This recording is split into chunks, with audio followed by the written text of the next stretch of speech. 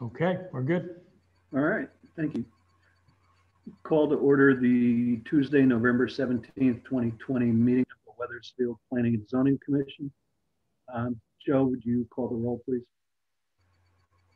I would, except I am having trouble opening the, uh, the packet with the agenda for some reason. Let me try one more time, and if not, uh, Well, I can do it if you want. That's not a problem. okay, thank you.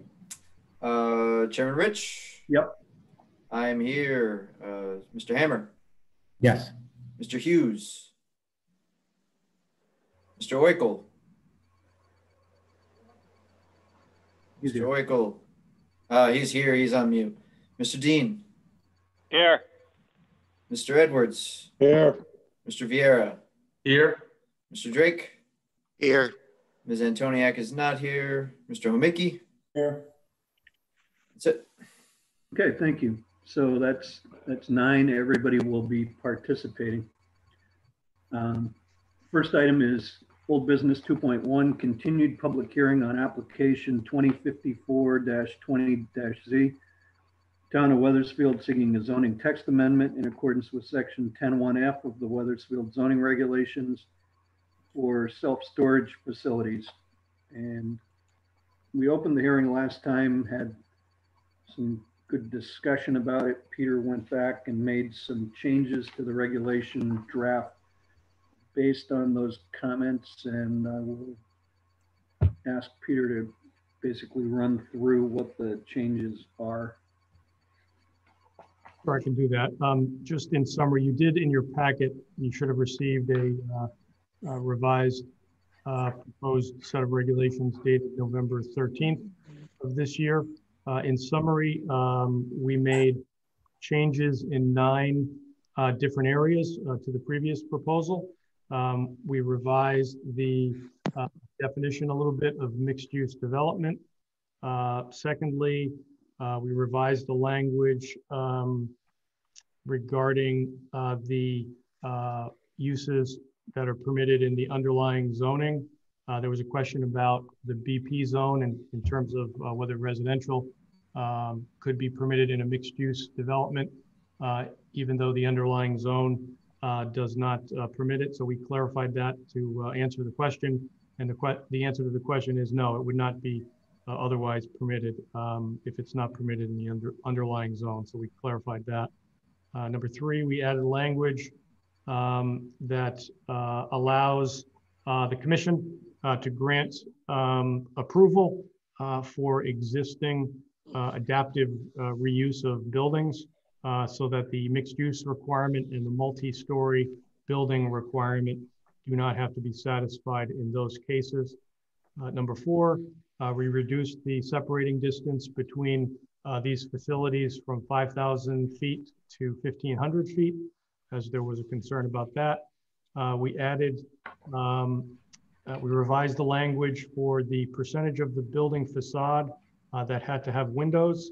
Um, and we clarified that so that that only applies to facades that are visible uh, from a public street. So if you've got a rear facade or a side facade and there's no visibility back there, uh, we've eliminated that requirement. Um, number six, uh, we added some language because there was a concern about the garage style doors. Um, so we clarified that uh, you can't do that if it's visible from a public street. Uh, we added some additional screening requirements for uh, truck loading dock areas that might uh, abut a residential property. Number eight, we added language um, that the commission um, can relax some of the building density requirements as an incentive to uh, encourage mixed use. So rather than, uh, we, so we just clarified that, that that's uh, an incentive allowed uh, by the commission if they deem it appropriate. And then lastly, number nine, um, we reduced the parking ratios um, and clarified a little bit about how the parking uh, applies in a mixed use uh, development uh, scenario. Previously, the parking requirement was one space for every 50 storage units, and we've changed that to one space for every 100 storage units. We've made that uh, a lesser requirement. We've also clarified that if there is a commercial component or another residential component, uh, those um, uses would have to meet uh, the normal parking standards as well as uh, the self-storage would have to meet this new self-storage standard. So that, um, in a nutshell, uh, were the revisions that after going back and listening to the meeting again, uh, we felt addressed um, the, the majority of the concerns uh, that were noted uh, basically two weeks ago at your last public hearing. Okay, thanks. I'd be happy to uh, go through the specifics, but um, that was just a quick summary of the various uh, changes. And your version uh, has those sections highlighted in yellow, so it's clear what sections we revised and which sections stayed the same. Okay, thank you. Do any members of the commission have questions for Peter? Yeah, this is, this is David Drake. I have a quick question. Hey, Peter, I wouldn't, I didn't know you were gonna go all the way down to fifteen hundred feet. How, how many, uh, at fifteen hundred feet, how many can you fit on Silas Deane Highway based on where you're at now? Do you have any idea? Could, could you get three? I know you get two. Could you get three? I'm not sure if you could get three um, because only portions of the uh, Silas Deane Highway are zoned regional commercial. It's basically uh, the half of the Silas Deane Highway south of um, south of Maple down to So I guess, I guess in my mind, I'm thinking twenty-five hundred feet or fifteen hundred feet is probably the same thing. we talked. Yeah, About, yeah, we talked about 25 at the last meeting, but I yeah.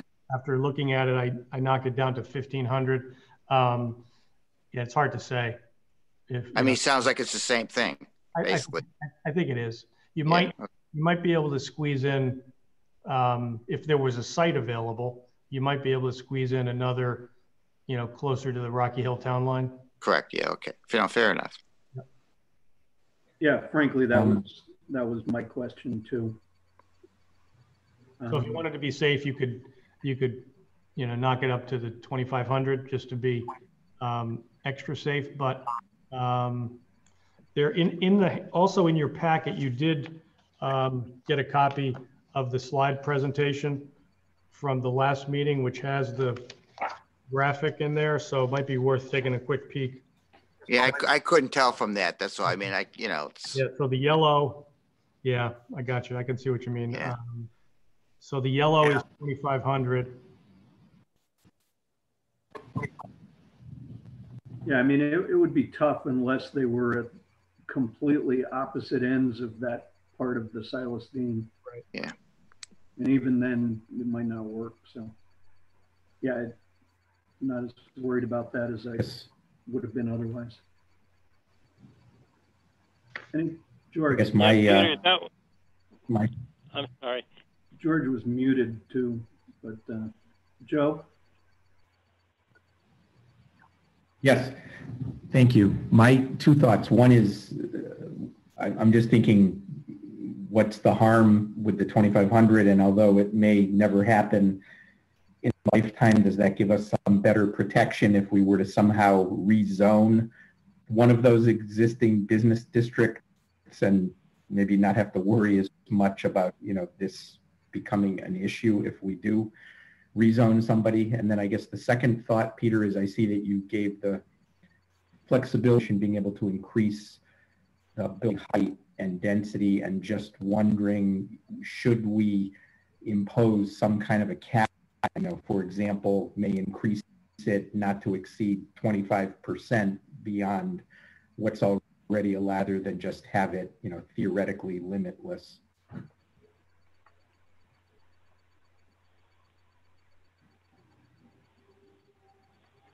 So right now it's 40, 40 feet is the maximum. And the coverage, um, if I remember correctly, is, it was in the earlier memo, um, I think it's 50, 50%, but, so if you wanted to establish, uh, so you're talking about a percentage rather than a number as an idea.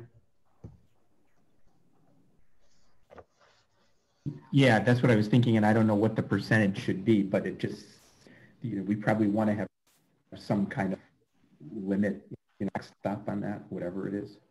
Okay, it is or- or 50%, Pete. However you do it, I just think Thanks. we gotta have some. Peter, uh, the parking spaces you went to, what? 100? One, Um, one space for every 100 units. Why'd you go that? I looked at a number of other communities and I've looked at, you know, I looked at our existing uh, facilities in, in terms of uh, how many cars are typically parked there. I think as I noted at the uh, last meeting, um, the Olison Road uh, facility, when um, I looked at it, I think there, there was one vehicle in there. Um, The one at the north end of the Silas Deane Highway, there were uh, four or five. I think that facility has either six or 700 units. So that just seems to make sense. These are not, if you've got two or three tenants uh, at the site uh, at any one time, that's, that tends to be uh, kind of a big number. So I didn't want to uh, require uh, an, an over, overly high number of parking spaces, given this day and age where some towns are getting rid of their parking uh, requirements altogether. Um, so I, yeah, based on my research and um, uh, industry standards, uh, that's a that's a reasonable number. We also have a one space for every 250 square feet of office. Um, plus, if it's mixed use, then there would be additional parking to satisfy the other users as well. So I think, uh, given all of that, it's it's a reasonable reasonable number. Okay, acceptable.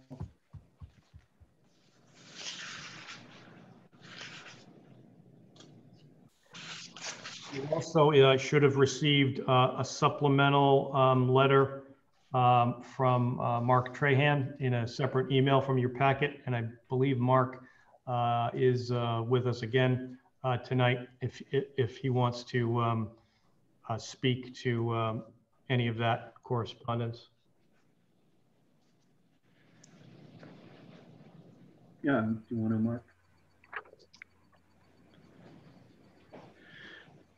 I'm usually a man of many words. I'm a man of few words tonight. Peter, you're doing a wonderful job. Okay. Uh, Tom and George, I think, had questions. We'll go in that order if you still do.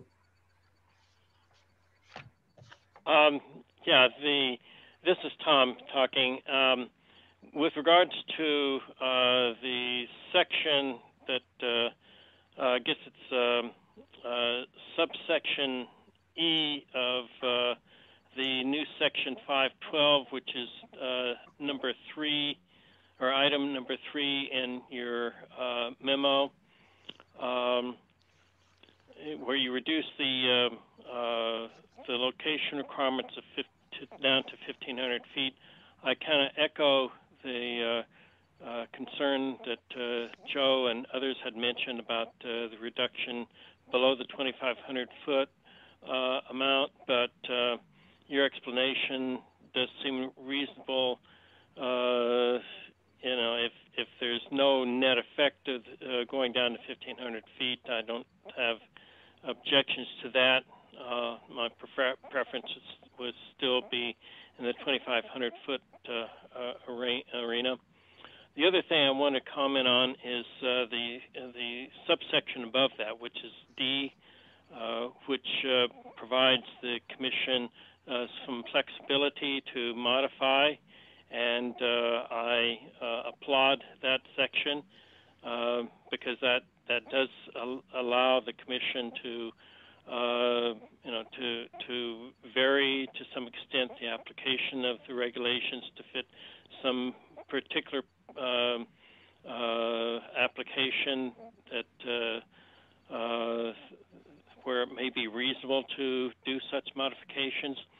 Um, my sense is, and and I guess I'm asking you to correct me if I'm if I'm wrong in this, but if that subsection would be invoked, that is the subsection that allows the commission to uh, modify the multi-story and mixed-use requirements, um, if that uh, subsection is invoked uh, at any future hearing, um, my sense is that that that the commission must make the findings in one, two, and three uh, D1 and D2, D3 explicit before it can uh, agree to a modification. Is that correct? Yes, whenever we have a section that, uh, you know, requires findings, uh, that all should be well documented on the record and uh, discussed um, as part of the approval process that you have made those three findings. Um, And therefore, your, the project is qualified to grant the, um, the modification. Okay, that that's that was my uh, sense of uh, of the of the status of that. So thank you for clarifying. That uh, completes my questions. Okay, thank you. George, did you have something? Yes, I did. Um, I want to be sure that our existing facilities won't be hampered by the new regulations. Uh, in other words, the exemptions and so forth that you just talked about, for example, uh, it can accommodate a, an improvement or revisions or a significant upgrading of our existing facilities. Is that correct? George, um, section, I guess it's in the page four of the, um, of the packet. Uh, subsection Q, uh, is the section that would cover, uh, our existing facilities. Uh, and if they wanted to expand or if they wanted to add some new buildings on site, uh, the commission, um, there's specific language in here that the um, expansion or new construction uh, would be allowed under a non-conforming provision.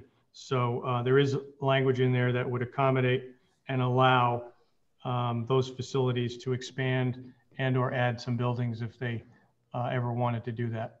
And they wouldn't have to meet a lot of these requirements uh, in doing so. Okay.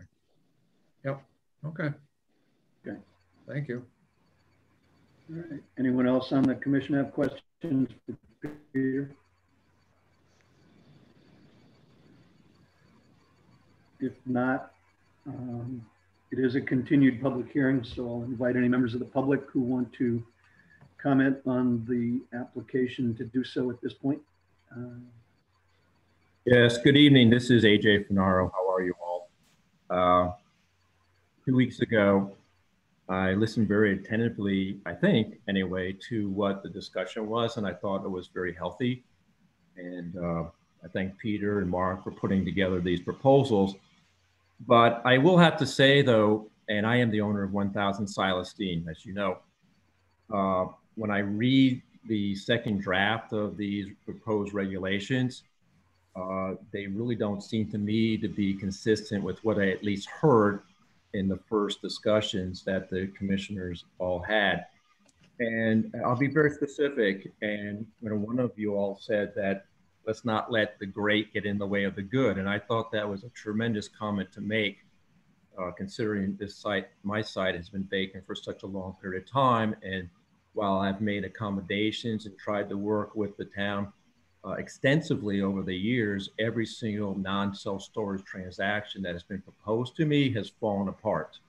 And so a year ago, uh, just before this moratorium was put in place, just by way of review, this property was put under contract by me and uh, we were going to close on a self-storage. It just seems like everybody wants to do self-storage. It seems like this site is designed for self-storage and we're trying to force the market perhaps to do something that it really doesn't want to be. And I have to ask the question, and it came up in the last conversations, the last meeting that you all had. And I think it was talked about if somebody brought a proposal that was non mixed use, for example, one of the illustrations that was in the original presentation included a Milford, Connecticut site. Uh, if somebody brought a proposal that had that Milford, Connecticut site or something similar to a redesign, similar to that, that did not have self, excuse me, did not have mixed use, all right, and it's going to be a project, a seven, eight million dollar project, and add tremendous value uh, to the community, would you say no? Because under these proposals, having mixed use to be defined as part of, right in the definition of self-storage that's proposed, it's saying it's mixed use. And so I just want to make sure I understand because I thought I understood last time the discussion was very healthy with regard to entertaining mixed use as to a possible incentive to something above and beyond, but not such that it would require mixed use and it would prohibit somebody proposing something that did not have mixed use to it.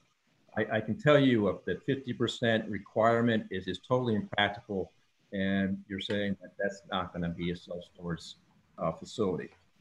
Uh, the second comment I have, so that's generally with re regard to mixed use. The second I have is, while I also commend uh, the recommendations last time with respect to having some form of exemption with respect to adaptive reuse, I have to admit though, when I read section D and it says one, two, and three, and it was confirmed on the call tonight that these requirements are mandated before anything can be considered. When I read D, it says the commission may, it said may. It doesn't say these are not part, these regulations that are proposed are not going to apply. Said the commission may modify the multi-story and the mixed use requirements. And if these things are applied, first of all, it says market demand. Well, certainly nobody who's going to invest $7 million is going to do this without a market demand and knowing what the, what the facility is going to require. And so I'm not sure why you need that because I think somebody putting up their own money is going to make, going to make that decision. Secondly, and number two, and this is, this one is the most kind of surprising to me, where it says site and or building conditions make the site unsuitable or infeasible for other permitted uses in the zone. Well, you, you can drive a truck through that. And my site, it did have trucks driving through that. And so I just don't see any way that gives any teeth to this possible may modify provision of this. Because you can put a lot of things on that site and say that it's unsuitable. But this is the highest and best use, it appears, based upon the empirical data that's shown in the market. The market says this wants to be self-storage. And we're more than willing to entertain anybody else that has an interest in this. But unfortunately, it seems like the town has a, re, a very big concern about self-storage. And I guess at least they did a year ago, but now they've gotten over that because Peter did a great job taking photographs around the state and showing what self-storage does look like. And one of those, the, the Milford one, which is very appealing, did not have mixed use. So my question really is, uh, you know, why are we entertaining in saying mixed use has to be mandated and put this in the proposed regulations? And certainly the exemption, and I appreciate the consideration for the adaptive reuse, but I don't see uh, putting these constraints that these criteria say you can't have anything else that's, you know, it has to be unsuitable for anything else and infeasible. Uh, we're just wasting our time here, and I'm, I'm wasting my time. And I can tell you that this property, as you know, has been vacant for a very long period of time.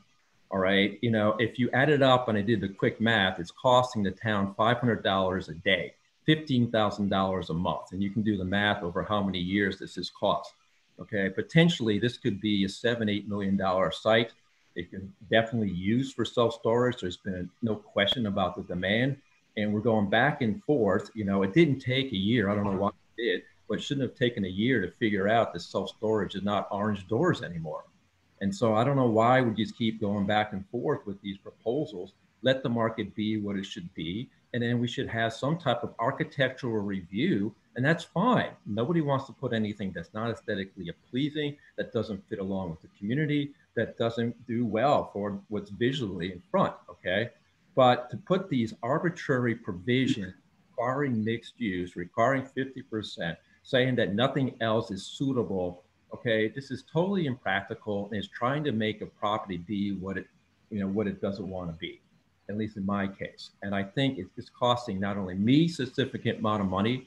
All right, I had tremendous hardship because I had something that was under contract, and you know, even though I was cooperating over many many years with the town to be able to do something else. Okay, even helping Paul Montanari get elected again.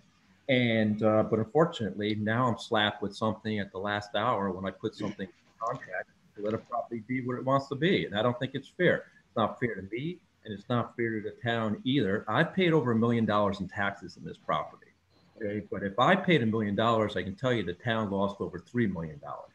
And you're losing $500 a day with this. And so, you know, I think just to sum it up, I think, you know, the gentleman who commented about don't let the great get it away of the good. Um, I'm going to echo that in spades. And so I don't really know why you're doing this. Uh, you know, I can sit and let this property of mine, you know, be vacant for another 10 or 20 years or whatever, but that's not helping anybody. It's not helping me and it's not helping the town. So I really would encourage you all to maybe go back, look at the conversations that you had before, because I thought you were right on target when a lot of you all were asking why should why should we mandate this? And don't let the great get in the way of the good.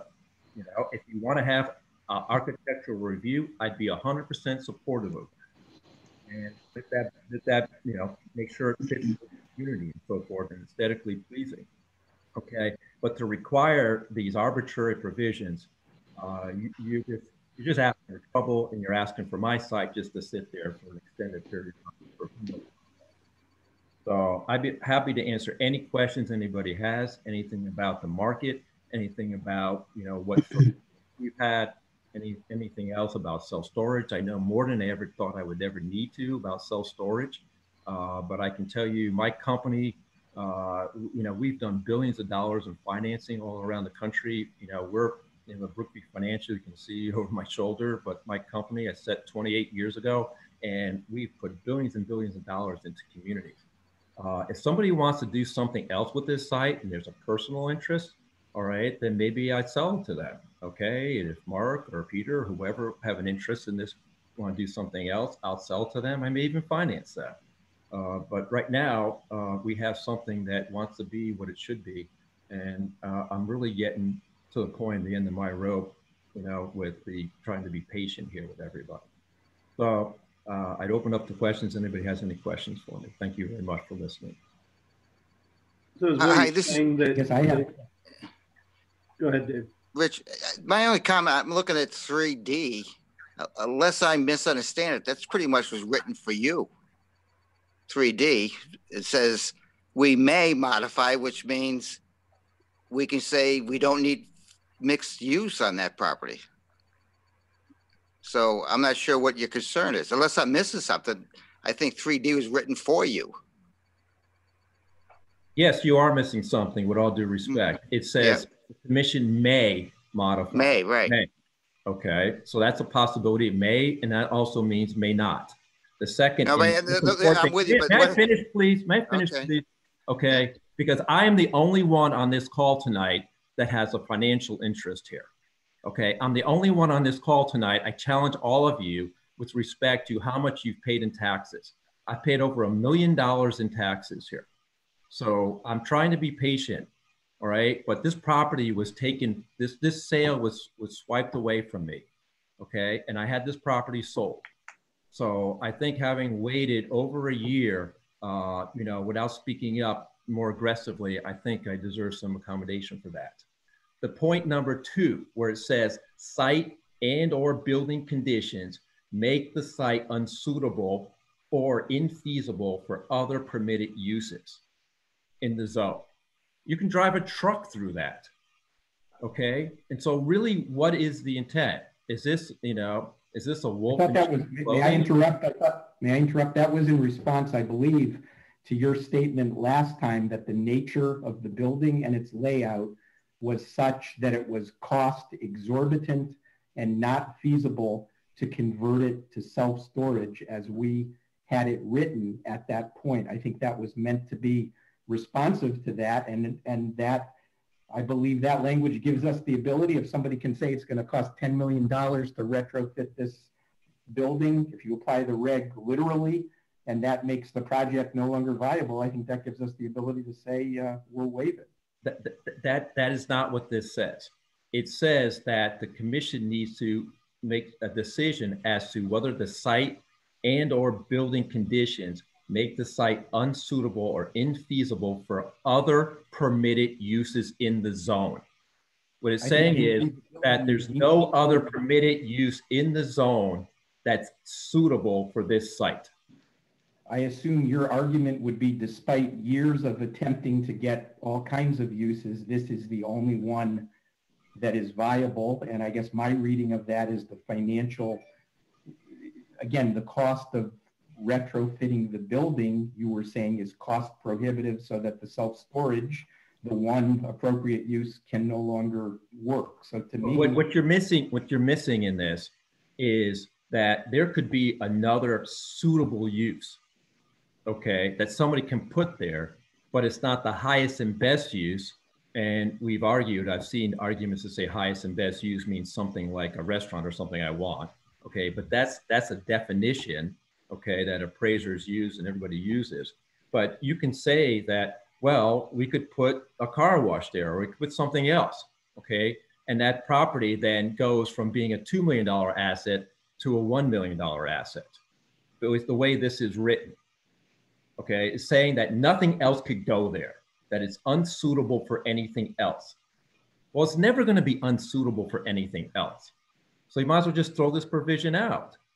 It's also, may I just say, it's also saying infeasible, which to me includes some level of financial consideration, but beyond that, But, but it, but it doesn't say that and who's making that assessment? And who makes that but don't, don't determination? forget, don't forget The that. the commission make that regulation- determination or does the owner make that determination? The, the commission, I think that you have to keep, don't lose sight of the fact that this use is a special permit use, which by definition means it's all subject to the commission finding that any specific proposal is appropriate for the location where it's being proposed. This is not an as of right use. It's not a site plan review only use. So there's a certain measure of discretion and analysis that the commission has to put on every application for this use.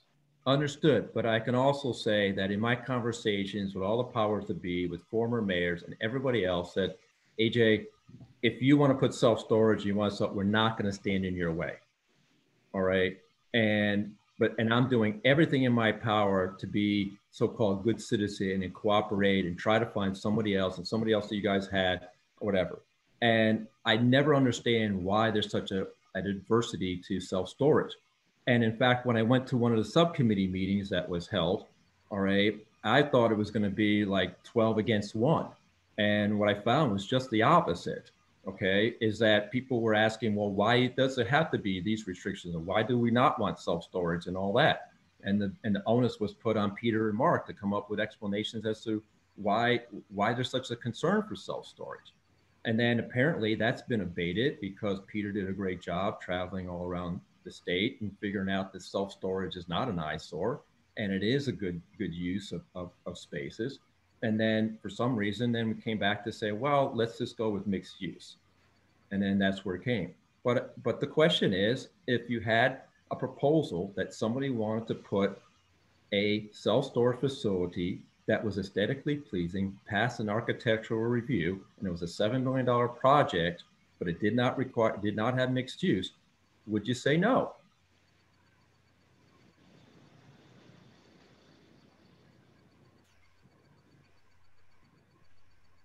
I think the whole purpose of D is to allow us to say yes. Yeah, I mean that that was my interpretation is that D allows us to have this discussion during a meeting and say, you know what, like this is this is good, this is an appropriate use of this site, like so because that's that's kind of the nature of these meetings. Uh, no, but what I, I, I get that. What I'm my question, however, was not just with adaptive reuse. My question was if somebody comes in and says, I want to put up a new facility, $7 million facility, but I don't want to do mixed use. I'm not a mixed use person. I'm not a mixed use developer. I am a self storage developer. You tell me what you want the facade to look like. I'll make it the most beautiful facade. Okay, in the front of the front of the building. Okay, we're next to a Goodyear. Okay, with garage doors, by the way. And but I'll make it look however you want it to look. All right, but I don't want to do mixed use. I'm not an apartment guy. I'm not whatever. Okay, I want to build a self storage. And somebody came to you and it was aesthetically pleasing and it was a $7 million project that did not have mixed use would you say no?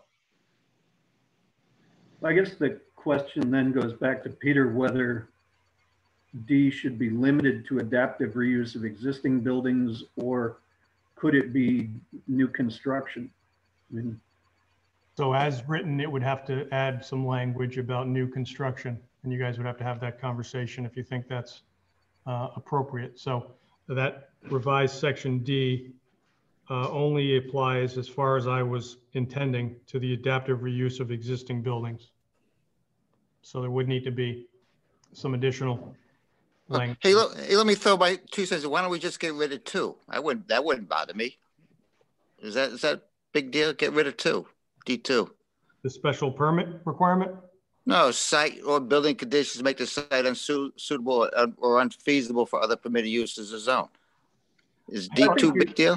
I I thought think that we was- want to have some Yeah, I thought that was the easier one. I thought that would be the easiest one to meet, given the 30 or 40 uh, different, you know, approaches they've had for the property, that at this point, I think you've come to that determination, that there's, there's really nothing left in the uh, scheme of things for. But for Peter, but Peter, you're missing, I'm sorry to interrupt, gentlemen, but you're, you're missing the point with regard to, I could sell this property for a million dollars tomorrow.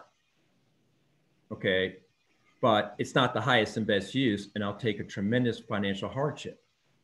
Okay, and the way it's written to say that this site is unsuitable or infeasible for other permitted uses, you will always find some permitted use that somebody would want other than self-storage okay? But I'm not willing to take a million dollar financial hardship, nor should I have, and nor would the community want to have a property or some use that's significantly less. That's the problem I have with that. So, so that I think two should be definitely struck from that. And it is a special use permit, and you have a lot of control as, to what goes there and how it looks and, and all that. But I think definitely two should be stricken, stricken from that. And one, and who's determining if the, the market demand exists? You know, when you all first a year ago, uh, and Peter, you presented it, and, and you had some of the statistics right, okay, with regard to how many self-storage units were needed per population, but you missed one very important point. It was that you were using the population of Wethersfield, okay? But this, you have to use a three mile radius, which then it's going to take you into contiguous communities here. And so demand is definitely there. But what happens if we go back and then we do a similar type of market demand analysis that you did previously, which was inaccurate? Okay. And now, you know, okay, and then that throws that out too. I mean, so nobody's going to put in significant amount of dollars without knowing and studying and knowing that the market is demands there. Why would they do that? I, I think we're trying to be real estate developers in all due respect. Well, actually, to tell you the truth, the person that would could do that is the guy maybe 400 yards down the street for you and says, geez, I'm going to put 10 self-storage units in the back of my building just to make a little cash on the side. Do we want that or not? I, I don't know. You, again, you're a special situation. What about the guy 100 yards down from you? What if a guy comes next week and says 100 yards down from you says, I'm going to put these in and, you know, that's where, again, 3D was trying to, we, I think Peter was trying to make that for you. And again, I, I wouldn't have any problem getting rid of two. I'll be honest, I wouldn't have any problem getting rid of one. Just roll three into the one paragraph. I'll be honest myself, but Well, I think that makes the entire regulation useless. No, you still have uh, mixed use requirements. It's just that we Yeah, that may we can- modify it. Though we can waive if the buildings are nice. I think you could, right? I don't know. No, I mean, what's the point of having a regulation then? You should have an architectural review. That's what many, many towns and cities do around the country. They have an architectural review. And to see, I mean, you have this special New England use permit, right? And you can make a decision. Does it fit or doesn't it? Isn't But- part but- part one and two like that's just like general discussion that we have on so many permits that come ahead of us. Like we talk about the market demand, and we talk about is this location suitable for X, Y, or Z business. So I mean, like, like that's the whole crux of a lot of the conversations that we have for many Yeah, of but the that- I, I, I- get that, Ryan, but that's not what this is saying. It's not saying. I'm if- just saying I don't want to get rid of the like one and two because the, those are just I- I- major I- I- pieces. I know, but what you're saying and what you're commenting on, okay, is not how I'm reading this, and I don't think how it's intended to be read. It's not asking, is that site suitable for self-storage? Because that's not what we're talking about here. We're talking about is that this exception, this may modify exception to the proposed new regulations is only a possible exception if this site is not suitable for anything else. It's just the opposite of what you're saying. It's the trigger by which this exception could possibly be considered. This may modify exception. Okay, what it's saying is, it's saying the inverse. It's saying that this exception doesn't kick in unless this site can't be used for anything else. And this site can always be used for something else. I could sell this high, I could sell this tomorrow for a million dollars or a million two or a million three. I could sell this literally within a week, I could have this sold. Okay. And there's gonna be something else for there. Okay. That's why this doesn't work. That's why two doesn't work. It's not saying, do we want to have self storage? It's saying that in order to trigger this exception, and I don't even know if it's an exception because it says may modify. This is may. To me, may means also may not. It doesn't say that, it should say that these, you know, these uh, mixed use, I don't even think there should be a mixed use requirement. You know my feeling on that. And the self storage, I don't think the, the multi-story should have anything to do with the existing properties at all. So I don't think it should say may, it should be not applicable. And I don't think number two works. I know it doesn't work because you could drive a truck through it. And what I'm concerned about is that that the drafting of these regulations, okay, that this is really a smokescreen, and maybe it isn't, okay, but that's what I'm concerned about is that the intent and the good intent of the commission trying to do something to be accommodative, but that this is actually a smokescreen because there's always going to be something that's unsuitable that that this site could be suitable for. So I'm never going to be can never prove number two. Number two will never happen. You could always, if you wanted to, find something that will violate number two and thus make number D inoperable. I- And I don't know why I don't know why mixed use is such a big thing. Why does it have to be mixed use? I know I would like to propose the question again. If somebody had a new development, they were going to do a $7 million self storage, new construction, but it did not have mixed use, would you approve it?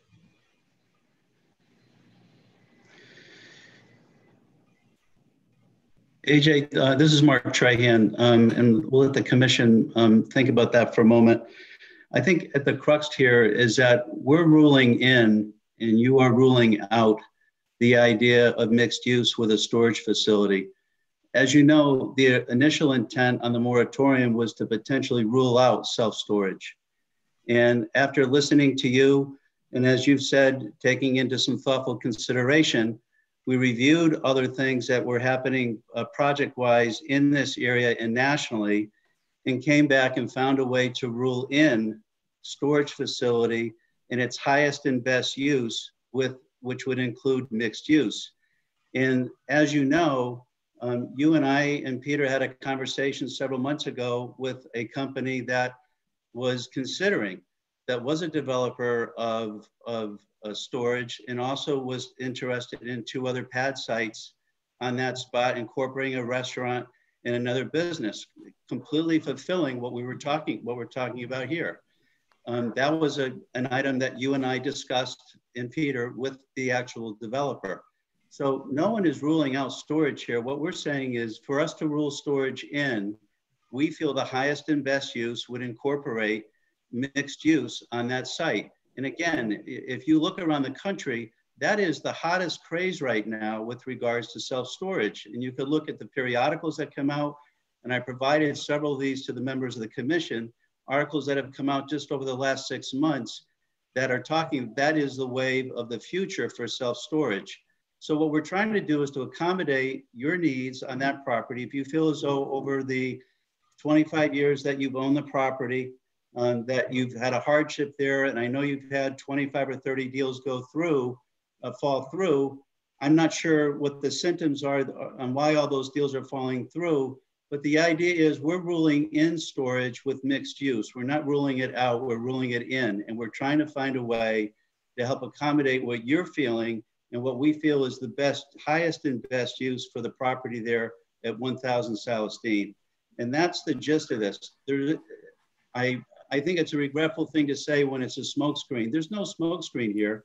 Initially, our intent was to rule out self-storage on, on any properties in Wethersfield, but we have been very flexible and try to be very patient with you as well as we've tried to understand why you decided not to market the product, uh, your project or your uh, parcel nationally to get people from Georgia or Chicago or, or Moderna, California or whatnot that are in this particular arena of building these mixed use storage facilities, get that site out in the public so you can get those phone calls. And we're hoping that those things come. So uh, just to recap, I think we're, we're finding a way to help rule in storage, not rule out storage. Well, Mark, you know, look, I, we can go around and around on this, but it hasn't been 25 or 30 offers.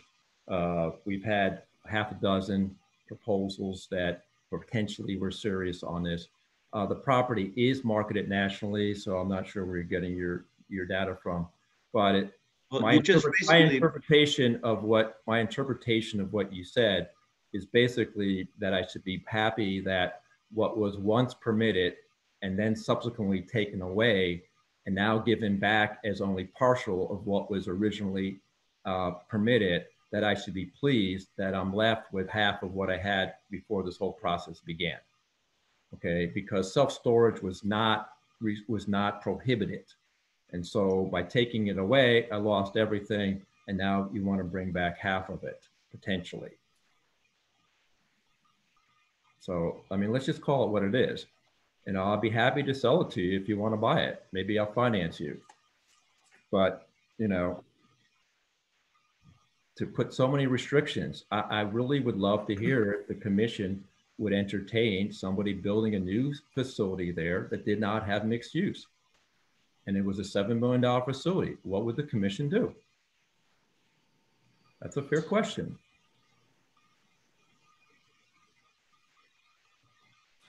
Was it always, it was, the mixed use wasn't part of it as of when? Like when when was it okay to be like full just storage facility? Like what was that date? Moratorium. Yeah, right before the moratorium. Like what what was that date? Oh, a year ago. September. So before that, before that, it was full. It was like you you could be like just nothing but storage.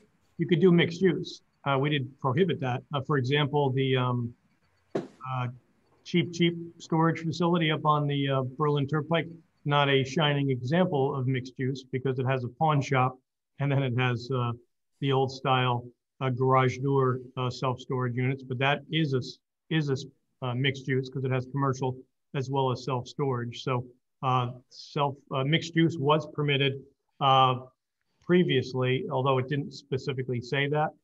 But by previous planning and zoning commission action, you did allow mixed mixed use up there. So we have one of our one of our three projects in town is mixed use. But mixed use was never required. Mixed use was never required prior to the moratorium, which still wasn't. But this is the first proposal of mixed use being required. Right. This is this is the first time that something fell through because potentially of the of the mixed use. Correct. Prior to that, it was deals. Correct. Right. Just so that we don't get completely out of hand. Is there anyone else in the public that wishes to speak on this application? Doesn't look like it. Okay. Peter, when does the moratorium expire? Uh, December 5 or 6. So you have a meeting on December 1. So we have one more meeting before the um, moratorium expires. I have a question, a quick question anyway. Peter, with all the work that you've given us, I've gone down the uh, Fairfield County into New London County and seen some enhancements to some of these storage facilities. I've looked at the trade journals that Mark gave us and some of the other detail, having been in the uh, appraisal profession for over 40, 43 years.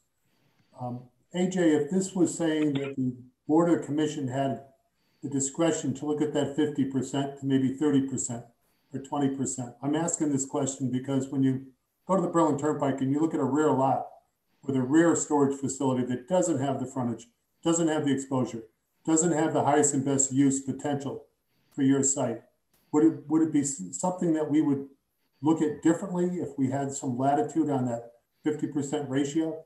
Maybe with the frontage having a different density as a different purpose? Because I'd be surprised if the other three, facilities aren't before us in the next year asking for enhancements. What I'm seeing in Darien, Stamford, Norwalk are facilities that have some residential use, to be honest with you. There's a couple of them that have put apartments in for the management team to take care of those dysfunctional lots where they put storage facilities on that have a lot of visibility, a lot of exposure to I-95, to the Boston Post Road. They've been really plums for some of the apartment dwellers that are intensely occupying mm-hmm. some of the facilities, especially with people leaving New York coming into Connecticut.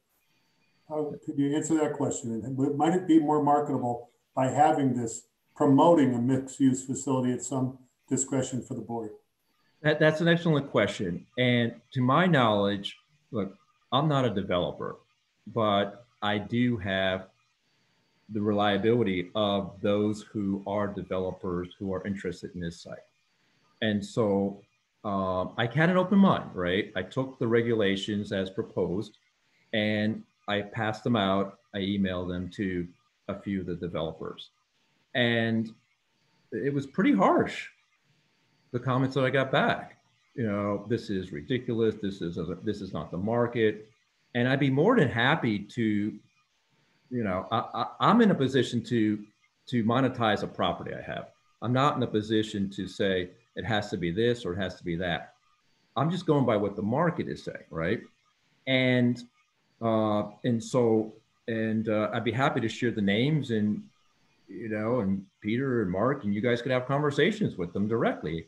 Uh, but it seems to me though that the uh, apartments, for example, take apartments, and I think Peter, you had one example that had apartments to it, but it was primarily an apartment building and then it went downgrade. And they did a very creative way of taking advantage of that downgrading and were able to put in self storage to take advantage of that. But it was primarily an apartment. Um, I don't know, and nobody has approached us, and this is nationally marketed, uh, and uh, and it's on LoopNet, and we are getting probably, I don't know, I'd say two or three uh, serious inquiries a week that are coming in on it. And how long have you had the property listed on LoopNet? We took it off once the deal, once the moratorium went, okay? And so I just thought we were wasting our time. And when this commission was meeting again to address, and Peter and I have been staying in contact, that uh, this meeting was going to come up or the November 3rd meeting was coming up. Uh, so about a month prior, we knew it was coming up. So then we put it back up. And, you know, and uh, we didn't say this is only self-storage, we just put it back up. And, and so I'd be happy to share the list of people who have inquired, right? But just last week, there's a gentleman, uh, he has a fund out of Canada. And you know he said this is this is what i want to do. And i said look the commission is very concerned. This was after you all met the first time we all met. They're very concerned about aesthetics about how it looks and how it mixes with the community this is a this is a prime thoroughfare. There's 23000 cars a day going by and it's very important. And he said i understand 100% i can make it look however you want it to look. They will not be dis- they will not be disappointed. And so, um, you know, I mean, I, I, I think that's part of the reason that there's been an objection correct me if I'm wrong, to the self-storage is because of its potential appearance, even though this is, you know, we're next to a garage, we're next to a Goodyear, all right, but it would look very aesthetically pleasing. You saw one of the, somebody asked me, what was that last, or asked, what was that last photo that I had on the memo that I, the response I had to the original? You can see, uh, you know, that company had a drive-through, which is a garage door, but it was a drive-through climate control, but it looked like a Porsche showroom. You know, so there's ways to address this, and I don't, I don't argue or disagree at all if somebody was proposing building orange doors on Silas Deane. I, I wouldn't, I wouldn't want to have that approved either. But I don't think that's what anybody's talking about. I, I think if you have the authority, which you do, to have an architectural review to see if it's somehow aesthetically pleasing and whatever the words that can come up with that make it make you all feel comfortable that is visually and aesthetically pleasing and consistent uh, with the neighborhood, then that's probably all you really need. And if somebody wants to do mixed storage and mixed use, and you say, all right, but I'm going to give you something else in addition if it's mixed use because for some reason we may want mixed use, then maybe they'll do it, maybe they won't. I don't know. To go back to my original question, AJ, and how long you had the property marketed, you know, I've been involved with the uh, with with economic development in RDA now for I think seven or eight years, and I think during that period of time, it's been on LoopNet for maybe um, a couple of months uh, during that period of time. And we, we I, had Mark, we had a, a real estate agent uh, unfortunately, he he passed away from esophagus cancer. But uh, Peter, maybe you remember, we've had some meetings with him. Uh, we were there, and somebody brought us a um, uh, somebody that wanted to do out of Hartford, the Hartford uh, a lighting company, Connecticut Lighting or somebody. We had a meeting right in the town hall, and you know, and Paul, our broker, was there uh, I've had three different brokers over the years represent us. Uh, so it's not without trying. Why would I not want to try to get this thing, what get this property sold? There's there's there's no there's no incentive. There's no reason why I wouldn't want to have it sold. I, uh, I would agree with you, and I, I think the point to make, AJ, and especially if you're getting two or three calls a week, you know, storage is we're talking about storage here, but storage is is one of dozens of things that could go on that site and we're talking about this because the, you know, we feel as though that a storage facility with mixed use would look the best and highest use for that particular business. But I think that if now that you've begun to aggressively market it on a national basis, I think you're going to get a lot of phone calls because of everything. We've had it for the last two months, Mark, marketed aggressively on a national basis. Okay you know, again, you know, we're saying what we think, what we think, okay, but the market is what's determining this. You know, you know, look, if I had somebody, if, if all these calls were coming in and I can't wait to do mixed use, fine, but I'm not getting that. Okay. And, you know, you've been aware of this property for so long. I, I don't know if you brought me anybody that could potentially uh, in here Mr. either. Chairman, George Oikel here. Both of these people and this particular owner has had his say tonight. I think we hear him and we may do something with this, but this is a hearing on the application. Uh, I do have a question. What would happen if somebody came in with only residential or came in only with business and storage or actually came in with neither of those? would we be able to accept it? Well, I think it would depend on whether it's permitted by the regulations. Well, this set of regulations, Mr. Chairman, would we be able to accept it? Who would not be able if they to. came in not residential. Right. Not residential alone. I'm intrigued that AJ, you're getting any calls with the economic pandemic environment we're having. There's a lot of commercial businesses, a lot of commercial owners that are looking twice and seeing what's going to happen in the next six months or the next three to four years. Yeah, that, that's that's a very accurate statement. And um, um, and uh, we're doing projects in the millions. Uh, I have a $28 million project in Indianapolis uh, that is outdoor retail.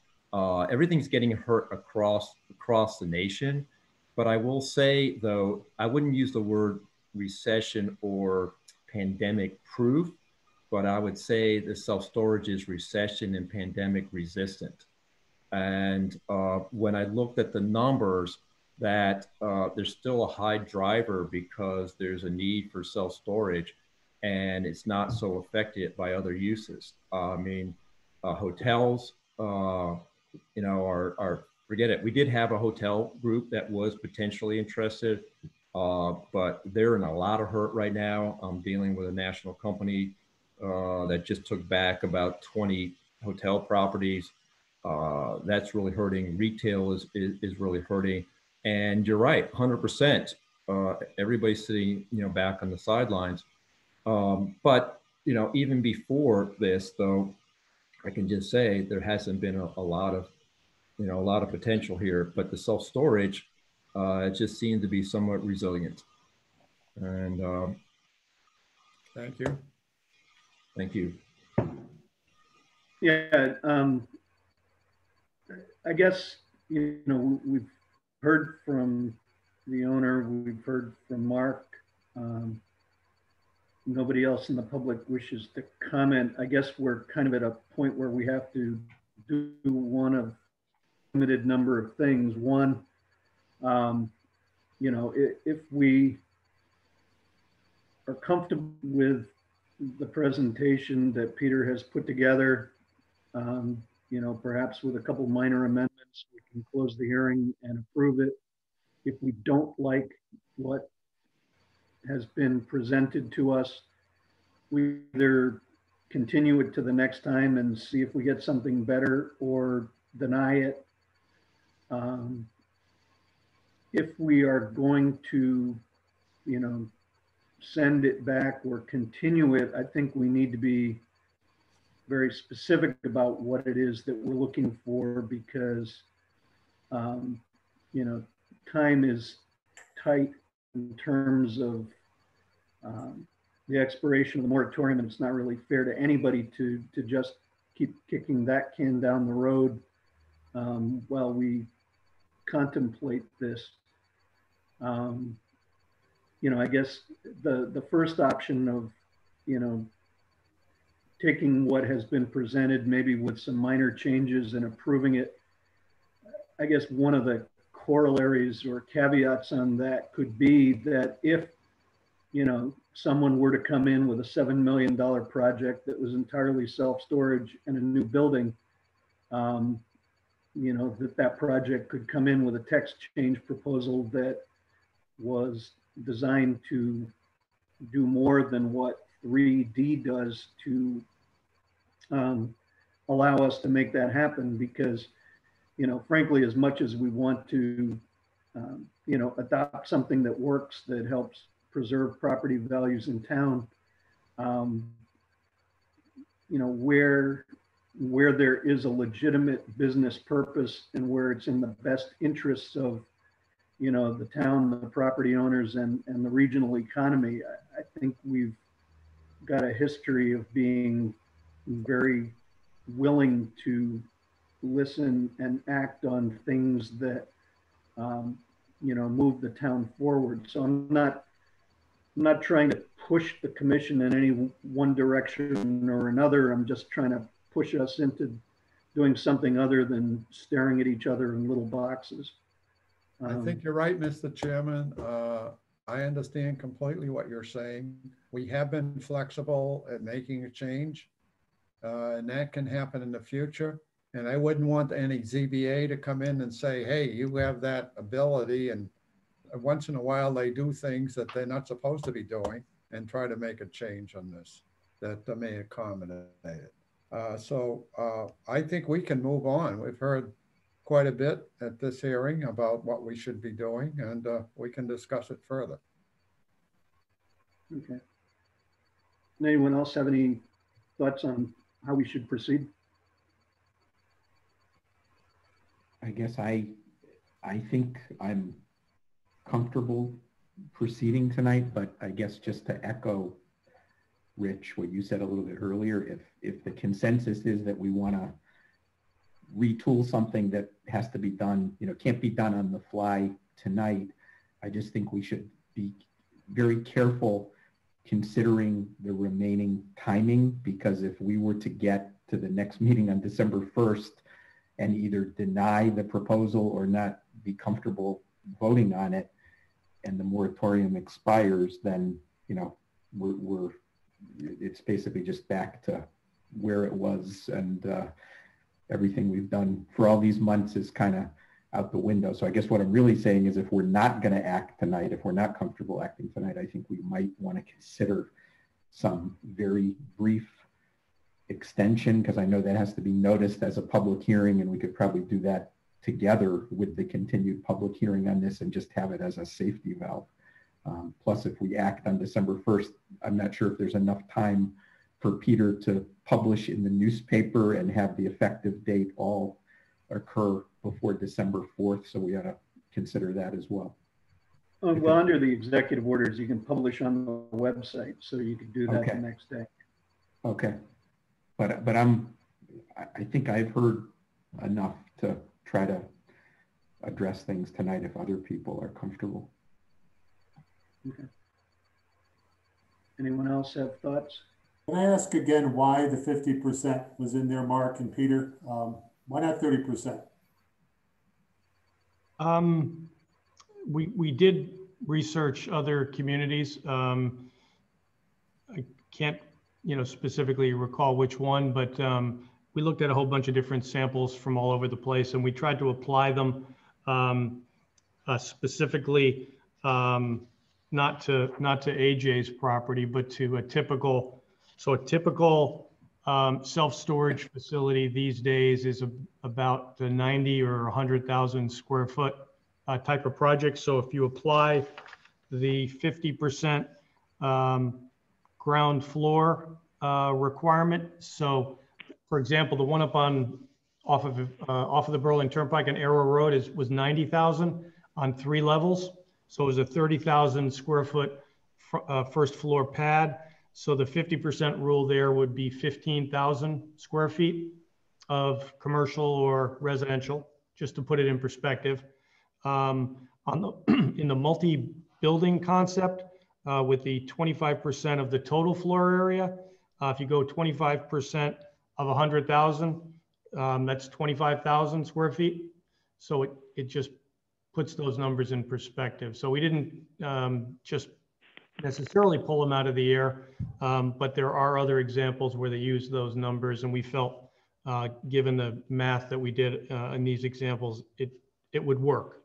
Um, and actually, uh, when Mark indicated that there was a proposal or, or an idea for this site for 1,000 Silas Deane Highway that had two pad sites, uh, the 25,000 square foot number actually works. So. We Spent some time working in Newington. It'd be a whole different discussion if we're talking Costello Road, Stamm Road, or some of the other industrial parks there and stuff. But again, we're not focused on one property, looking for the benefit of it all. Mr. Chairman, I respect what you said about the text amendments that we might be listening to in the future. Uh, So I- I'd like to float the boat and move this thing along. Okay. John?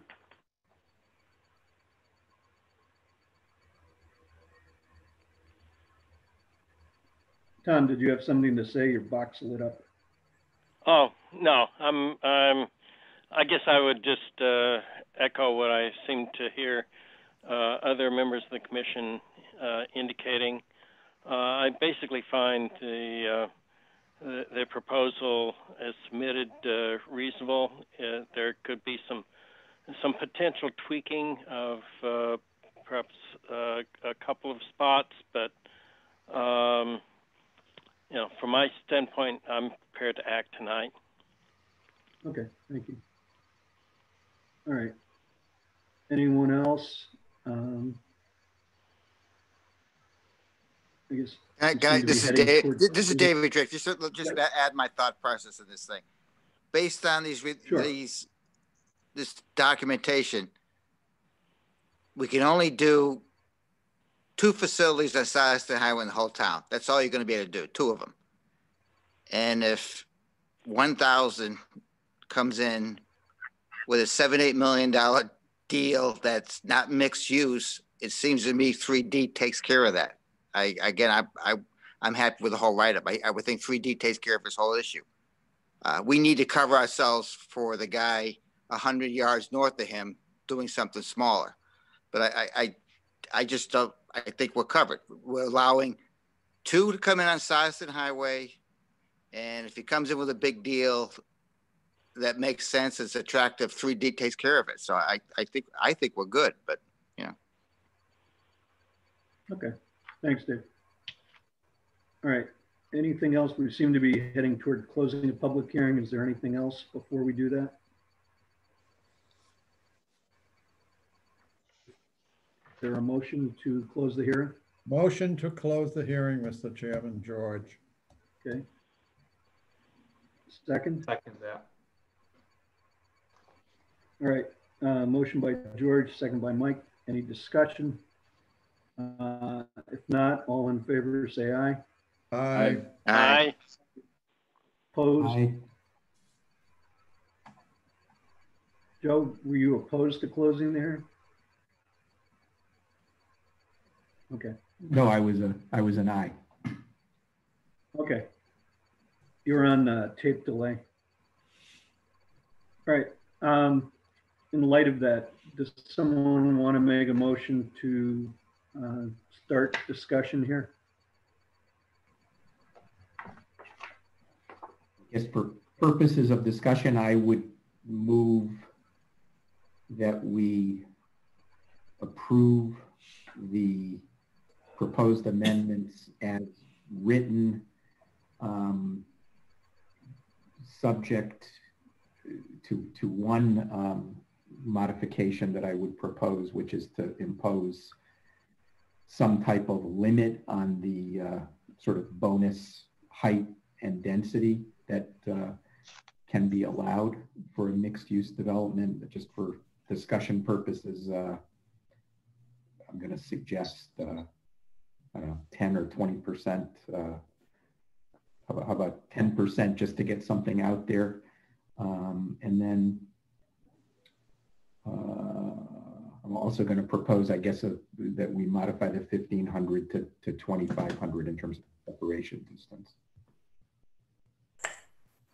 Okay, so Joe's made a motion to approve the draft regulations with the change that the uh, 1500 feet separation district distance be uh, changed back to 2500 and that item P on the last page four, uh, that the increase in building coverage and building heights be restricted to an increase of 10% over what is ordinarily required by the regulations. Is there Second a that. second? Uh, Mike Vera, second. Uh, I'll second. yeah, Joe. Okay. Yeah, Joe, I, I agree with you on P. That was, that was a little um, too open-ended and I didn't, that a waiver that, that, that was that open-ended and indefinite really would withstand scrutiny. Um, Thanks. I'm, I'm open, you know, if anybody has thoughts whether it should be something other than, than 10%. Hi Joe, did you want to expand to what, 2,500 distance? I, I guess uh, it doesn't seem to me, you know, that it, that it harms anything. And I guess it's just out of concern that, uh, you know, that, that we, that we might, you know, I'm just not 100% confident that the 1500 is as, uh, achieves the same effect as the 2500. So I guess my thought is why, uh, you know, if it's not going to cause any harm, why not just go with the higher figure? And as I said before, if somebody petitions to change a zone of one of these intervening properties to match an adjacent zone, that might affect the measurement. We, we could change it back in the future, right, if necessary, or something like that. But this also would preclude too many of these sites in the town by expanding to 2,500 too. So I don't know. Okay, I hear you. Thank you. Can I add my thoughts on the twenty-five hundred? I, my original thought was the twenty-five hundred also. But considering that you could probably only put two in size of the highway, no matter what you do, 1500, 2500. The fifteen hundred does give you a little bit more flexibility on what spots down that street. Considering we got one right at the north end, then you got to go twenty-five hundred feet south, a half mile. And this precludes anything between those two buildings that you could do this with. So it does limit you. But I think what Joe is saying is that it doesn't make a difference in how many potential. No, it does make a difference because between that north, north one and a half mile down, you can't put anything. Can't do it.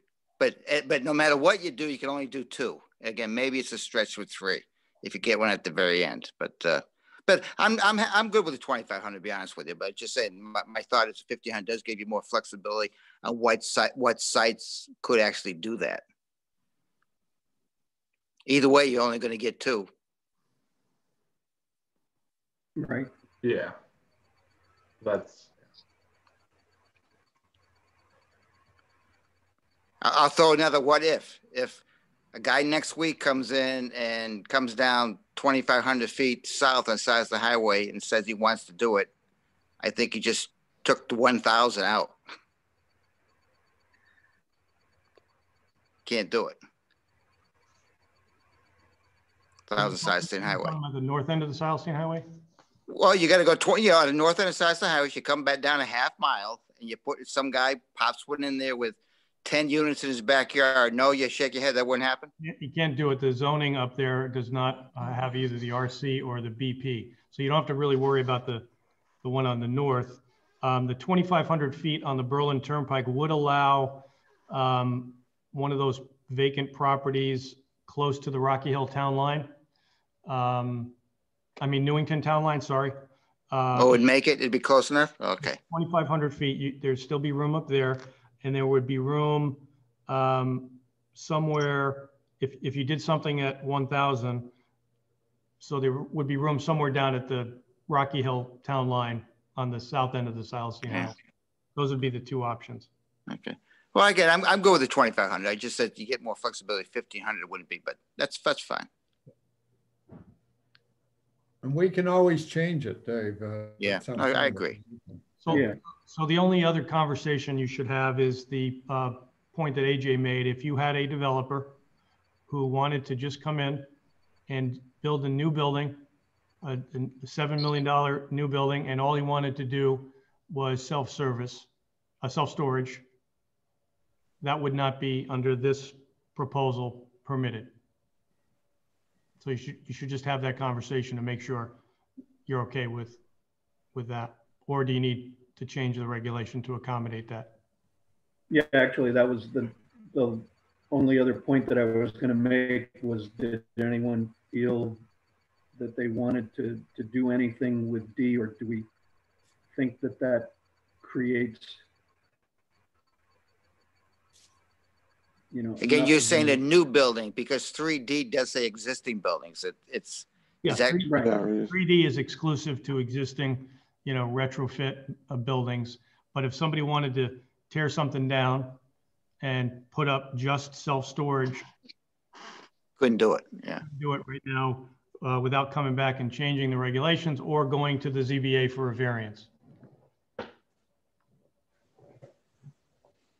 well, do you think anything like adaptive reuse of existing buildings or of an underutilized site would allow a new building to go in without, you know, only in places where, you know, there is a higher and better use?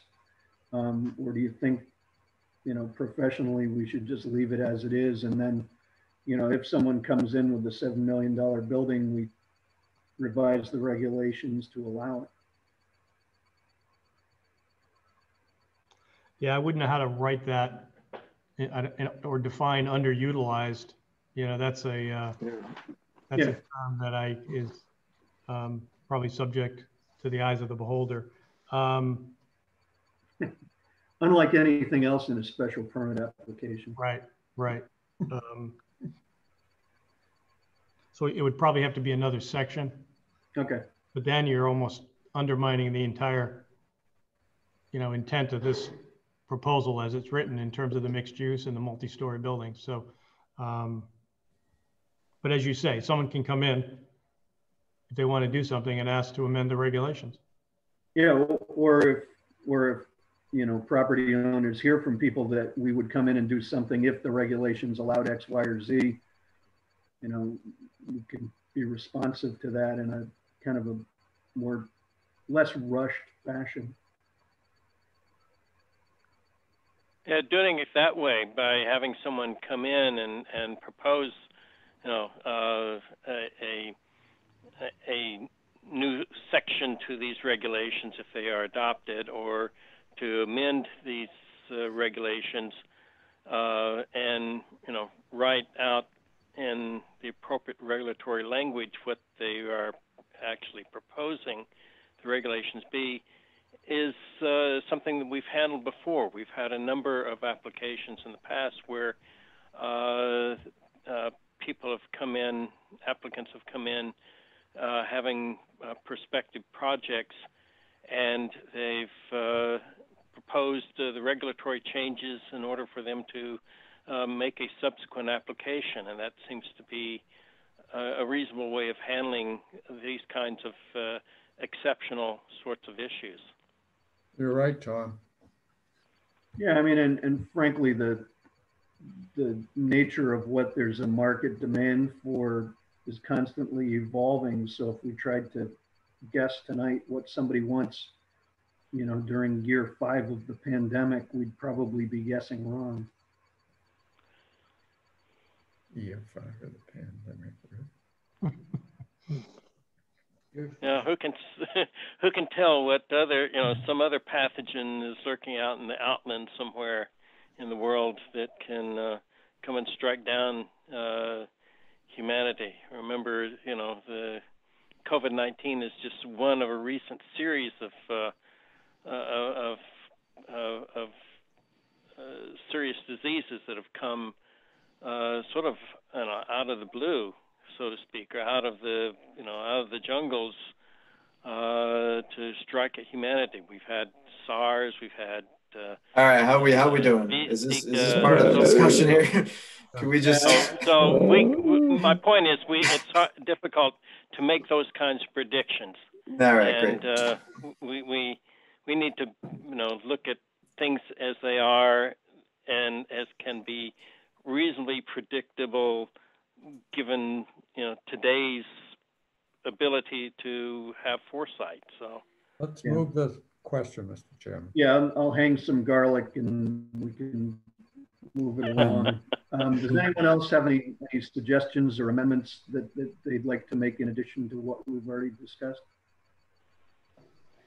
I just have one, uh, Peter sure. and Rich, I think we need to set an effective date as part of this. And uh, I guess my question to Peter is what, what, what date should we set that gives you adequate time for all your publications and so forth, just so you don't get caught short? I, I think Denise is uh, on, on the line here. She may know more specifically about when the next um, legal ad opportunity is. Denise, can you chime in?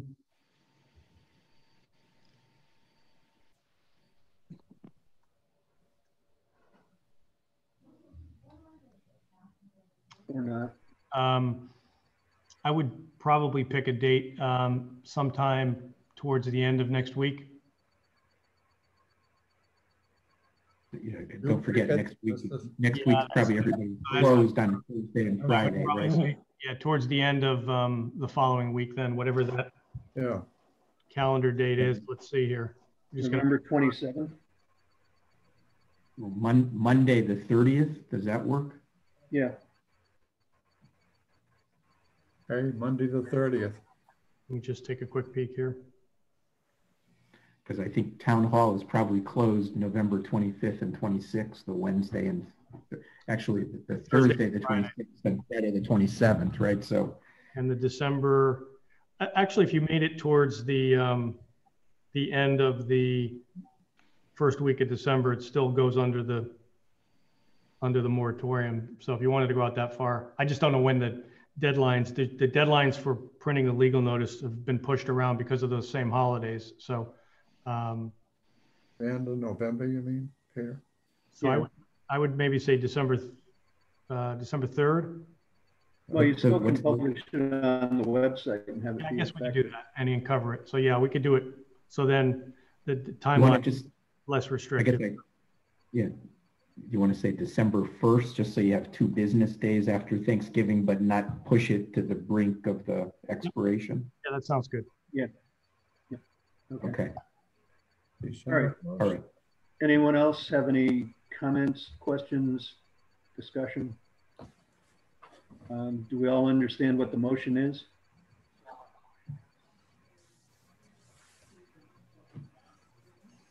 All right. Um, motion's been made and seconded. All in favor, say aye and raise your hand. Aye. Aye. I, Okay. Dave and Tom said aye. Their hands are invisible. Um, anybody opposed? Okay, Oh, no, I'm not opposed. uh, anyone opposed? I already had my hand up before. George? Okay, all right. Any, anyone opposed? Any abstentions? Okay, motion carries. Thank you.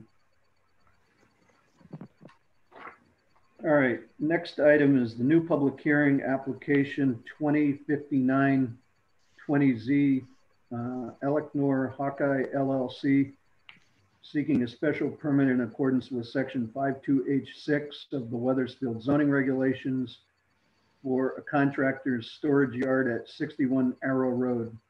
Um, Is there someone here who wishes to present on behalf of the applicant? Yes, uh, c- can everybody hear me? Yep, could you just please give us your name and address for the record? Yes, absolutely. So my name is uh, Dan DiDominicus. Um, our main address is uh, 1395A Tolland Turnpike, Manchester, Connecticut. Okay, thank you. All right, and tell us what you propose to do? So we uh, we are a utility contractor um, for EverSource. Uh, we are seeking approval for use of the special permit of contractor storage yard at 61 Arrow Road facility. Um, a little background with us is we we're we're a contractor for EverSource, like I just stated. Um, so we do storm emergency work throughout throughout the nation, um, and Wethersfield, the 61 Arrow Road address would be our satellite location for storage of vehicles. Um, we have an office trailer, um, material. That's where our guys would show up in the morning. It, um, effectively, we have about, I, I wrote a list here. We have a yard in Manchester, Wethersfield, Newington, East Hartford, Salem, to name a few. And these satellite yards provide us with um, better access to the community, serving the community in a, in a faster response in storm events um, or just regular repair and replacement of the electrical lines. So uh, this this uh, permit and application that we're seeking approval for at 61 Arrow Road is again a, a storage yard for our vehicles, equipment um, to better better serve the community in a quicker and a faster response time. Located right next to the Berlin Turnpike gives us access to kind of disperse throughout the state pretty rapidly and quickly.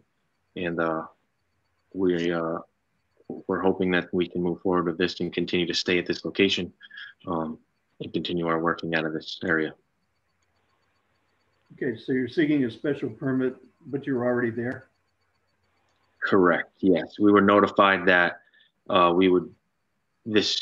We were notified about a month ago by the town of Wethersfield when we applied for a temporary electric permit um, to decommission our generator that's on site, and we were notified by the town that we need to apply for a special permit to use this this area that we lease.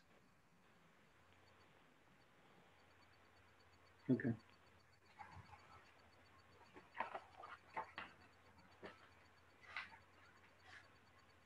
Can you go into a little detail um, on the, assuming we're, are we asking questions yet? Sorry, did I just jump in?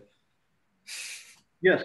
Anyway, uh, a little bit of detail in terms of the activities, um, specifically either like late at night or first thing in the morning. You are relatively close and according to the site plan going to be even closer to um, some residences and i know in the past we've had some discussion about the the various crossings whatever the tinsman and and the like so if we can if we can define your activities early in the morning headlights through trees, noise, just uh, just sort of lay that all out, just because it's it's going to be part of the discussion later on. Yes, absolutely. So uh, a normal, a regular day, seven or five days a week operation, we we would arrive at site between 6:30, 6 6:30, and we leave site by seven. So there's approximately right at this time we have six or seven guys showing up for that site six six in the morning. Um, they'll fire the truck up, trucks up, um, the noise in the morning would be the backup alarms if we're moving vehicles around, which is required for us to have on all our vehicles um, in compliance with DOT. So that would be your morning. And from seven through, through the rest of the day, we're off site um, unless there might be a general foreman or another foreman doing paperwork in our, in our mobile office trailer that we have. And then to conclude the day, we would come back around three o'clock. Um, same thing, your noise would be the backup alarms of our trucks. They would have a debriefing of the day and then we'd move off site. And now that's a normal, normal day operation. I can't give you exact days when we might be there in the middle of the night. If there's a storm event, that's all weather depending. Um, I know the last couple days we had some high winds and storms, and they were there a little earlier than that. Um, if we're in a hurricane or we have other other high high stress storm situations, we could come one two in the morning to to get a better start on the day. But again, that is, uh, I can't really give an exact when that could be because that's all depending on situation as the time prevails. Thank you.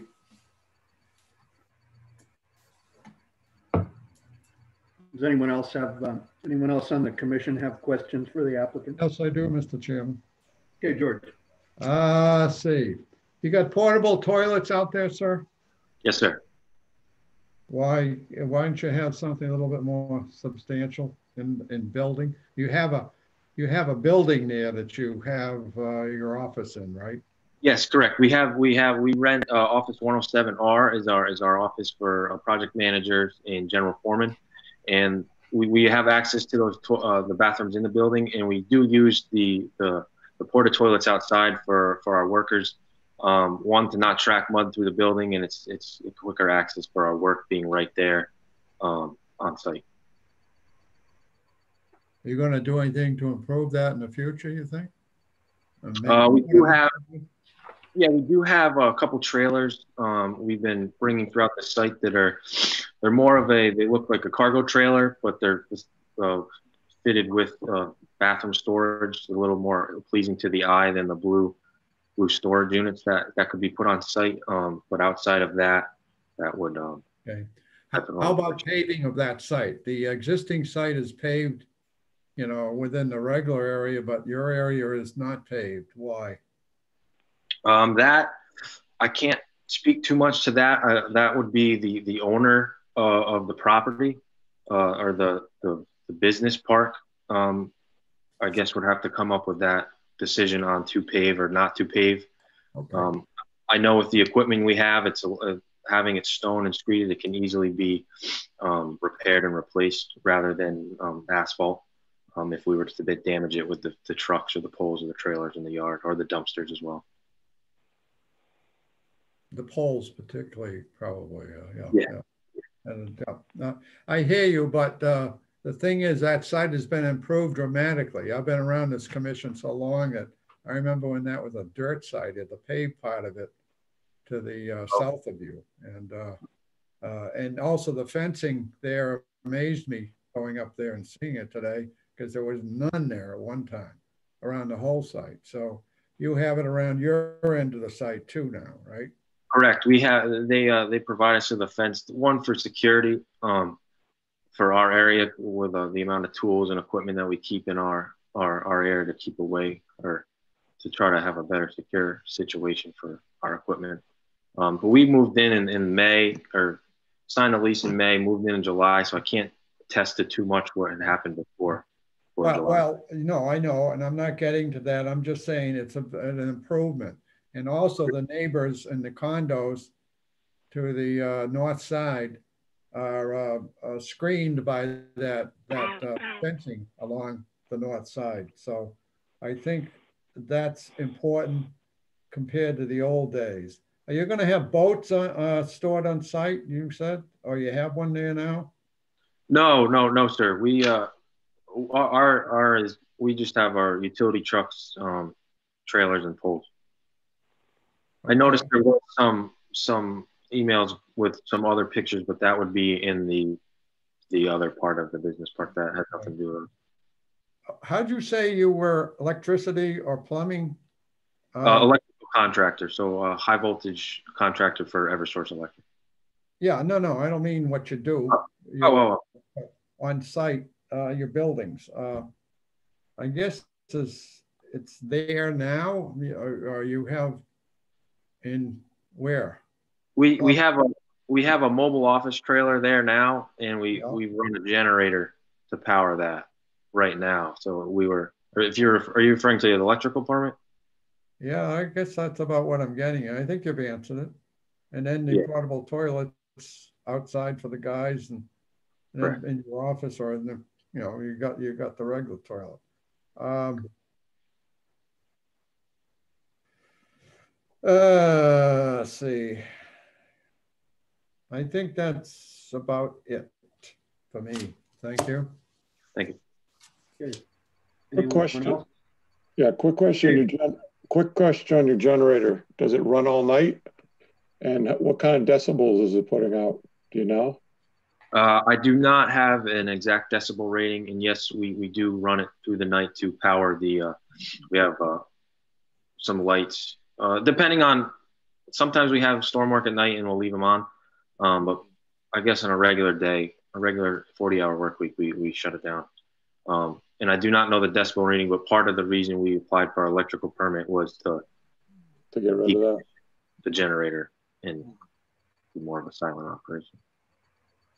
Okay, it just did, I, it's located away from the residences, but I, according to the photograph, if that's a generator in front of the building, but just if that would, that would be a concern to the residents nearby. Yes, that that's associated as far away from the residences we can have in our area that we use. And overall site lighting, you don't have anything on poles or anything that, from looking at the photographs? No, No, uh, Yeah, so it's just only your, their truck lights or what lights it up at night? correct. Okay, thank you. Okay. Anyone else? Tony? Uh, Dan, could you tell us how many trucks you'll have on the site? Uh, right now, I, I can't attest to exactly what's there tonight. Um, on a daily basis, there'll be six bucket trucks. Uh, we have two utility pole trailers, uh, one reel trailer, and that can change day to day. We're a unionized company, so if there's more work, there might be more poles and more trucks. If There's less work, you'd see less trucks. Uh, during the day, you you probably see what you can't really see. They're usually behind the dumpster and the fence. All the employees' cars they park along the, the fence inside our area, and then they take the bucket trucks out for the day. A normal day, normal week, six six large bucket trucks, a few trailers, maybe a couple pickup trucks, depending. With approval, do you think that, that uh, number of trucks might double? Uh, most likely not, due to the fact that we have uh, yards scattered throughout. Um, I can't attest if it if it will or when it will. Like I said, if if we get more work or there's more work provided by Eversource, those numbers might go up a little bit. But uh, that's that's been our crew size with that crew that operators operates in that area for the past year or so. Is it likely you'll be registering those trucks to the town of Wethersfield? Uh, most likely not. No. Uh, all, all of our vehicles uh, are actually leased. We lease most of them again because of the unionized company. The work's so fast paced. So if the, the work's low, all we have to do is return the lease rather than um, having the cost of a vehicle. Um, you'll you'll probably mostly see them registered out of New Jersey, um, sometimes Indiana if they're leased. Um, but New Jersey and New York are the most common license plates you'll see. One, our main office is out of New York and two, New Jersey is uh, where we lease the buckets from 90% of the time. If they're here for 60 days, they should be registered with the tax town of, of Wethersfield. So that, that would be my recommendation. And for uh, materials, on your on your letter, you do reference to storage of materials. Are you talking uh, sand and gravel type of a thing, or what type of materials would you have there in addition to the trucks? Uh, so materials would be uh, wire, overhead wire for the poles, and utility poles, wooden utility poles. Okay, thank you. How often do you have poles delivered? Um, we probably have a delivery once a month, maybe. We uh, we store. We usually get a truckload, which comes with 30 poles, which, which most of the work, unless broken poles, opposed or become more of a stockpile of material to just have in emergency situations. Okay.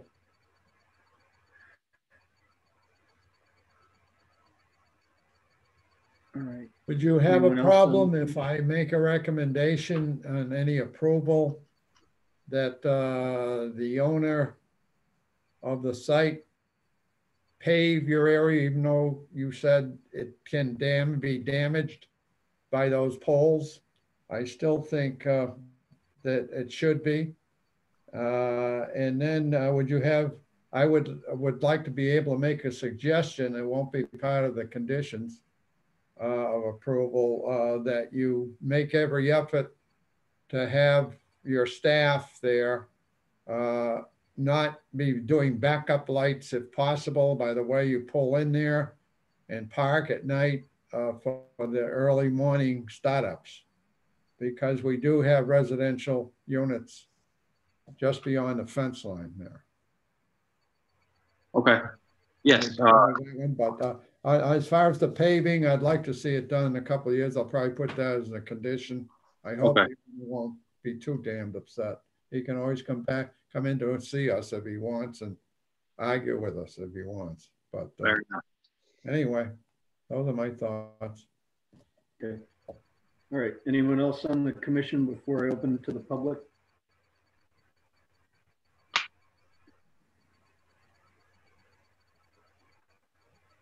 All right.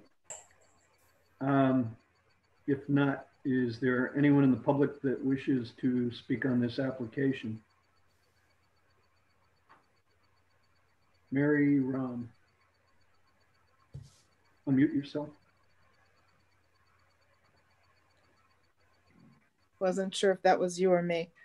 Um, yes, I'm Mary Rum. I live at 10 Tanner Crossing in the development right to the north. We don't have any problem with Elecnor Hawkeye, the, the vendor. The continuing problem that we have is with the owner of the property. Um, we, the lot where they're parked right now, where, where all of this equipment is, didn't even exist a couple of years ago. And the paperwork that was submitted, um, the letter from Russell Road Properties is full of inaccuracies and, and just fiction. It talks about the north lot, um, like this lot has always been there since 1965. That's kind of what they're implying. And that's just not the case. That lot, that lot two years ago, less than two years ago, was grass. Five years ago, it was all wooded um, and they cut the trees down in there. So there's no longer the um, wooded wood buffer to the north, you know, um, abutting our property that there was before. But more to the point, there's 172 homes in that neighborhood and in the crossings. And we have to, the only way to get into the neighborhood and out of it is to drive up and down Russell Road. So we can see everything that's in that parking lot. And, and um, Mr. Urkel was right. They did put fences up and, and they've made an effort at screening and everything, but they also doubled the size of the lot to the north. Like that lot did not exist before. And just this summer, suddenly there was a lot there. There's gravel in there. Someone else tried to apply to park trucks three years ago, I think, um, a bunch of box trucks out in the lot. And this commission set a bunch of stipulations for approving that. And among those would have been paving the lot at a minimum. Um, they had to, uh, there was drainage. Let me check my notes, sorry. Um, had to include adequate screening. And that's part of your, the town code right there, that it has to be adequately screened, we can see those bucket trucks and that gigantic trailer next to the office trailer from a mile away. And those trucks are parked at night with the buckets up in the air. And it's my understanding it has to be that way. But you can see those through the trees from the crossing side. You can see them up and down Russell Road. It's really unsightly. We, we are concerned about our property values in there too. Um, you said they would have to have paving, lighting, landscaping, drainage, um, that no vehicles could be maintained on the prem maintained in the sense of no maintenance because there was concerns about oil or gasoline spills on the property.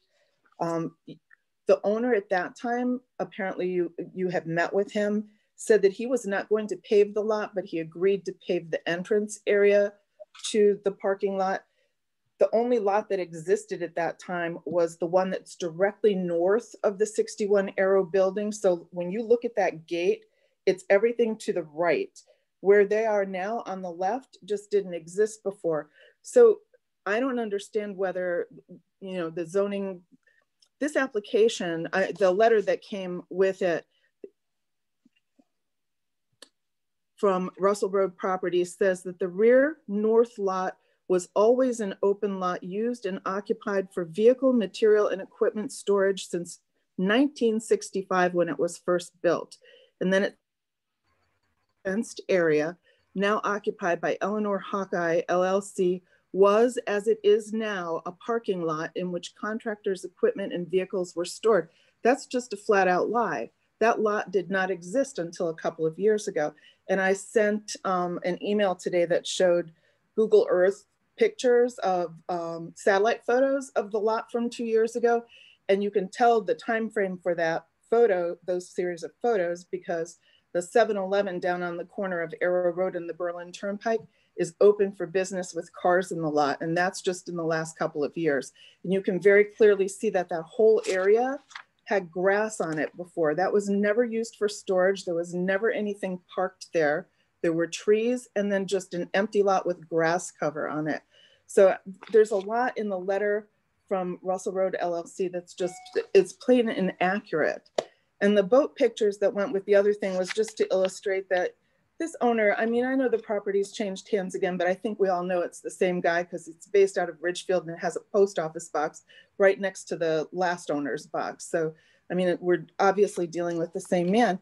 We've been through this back and forth several different times. I've lived here 20 years. I can't even tell you how many zoning meetings I've been to over that time because he's always trying to get away with something and pushing the boundaries of you know, he gets his hand slapped, then the lot gets good for a while. And then slowly there's like mission creep again, where you turn around and it's full of things that shouldn't be there. In the, in the original lot, he's got a camper in there, boat in there. There's all kinds of other things that aren't supposed to be there. The lot's not entirely paved. There's gravel there. So, I mean, there, it, there's a whole series of issues. This isn't about Elecnor Hawkeye so much for, you know, at least for me, it's, it's about the continuing non-compliance on the part of this owner. And if you say yes to him, for letting them park these vehicles out there and use that lot for contractor storage when it didn't even exist before. How do you control what he does with that lot when Elecnor Hawkeye isn't there anymore? I mean, we have to live here. Those bucket trucks stick way up where we can see them. You know, it, it it's unsightly and it has something to do with our quality of life that that i don't know what trailer it is it's next to the office trailer but that thing is gigantic you could half again as tall as the office trailer and you can see all of it over the fence when you drive by. So the whole concept of you know screening from the road is is ridiculous. You can see it from the road. And this letter from Russell Road um, Properties also says that the lot you don't have to worry about drainage on the lot because nothing drains into the lot. I sent another photo from Russell Road. There's no storm storm drain anywhere near that property, and the road actually does tilt toward the property. So water does drain into there. So, I mean, that was a condition last time for when you wanted him to pave the lot and he didn't. So that's it, rant over. Okay, thanks very much. Um, does anyone else wish to speak on the application?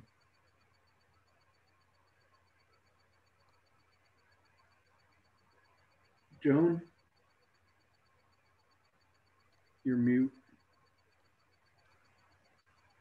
Um, hi, I'm going to speak. I'm a resident um, in the area at um, 62 Tinsmith Crossing, and um, I had gotten. just give us your name? I'm sorry. Oh, I'm sorry. It's Joan Silverio.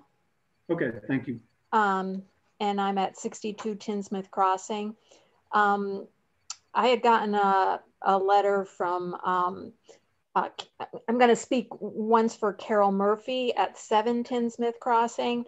Um, she had sent um, an email, she, she couldn't come, um, and then speak for myself. And so this is Carol. Um, my name is Carol Murphy, and I live at 7 Tinsmith Crossing. This parking problem has gone has been going on for years and I happen to be right adjacent to this property. Since summer, these trucks start to leave every morning at around 7 a.m.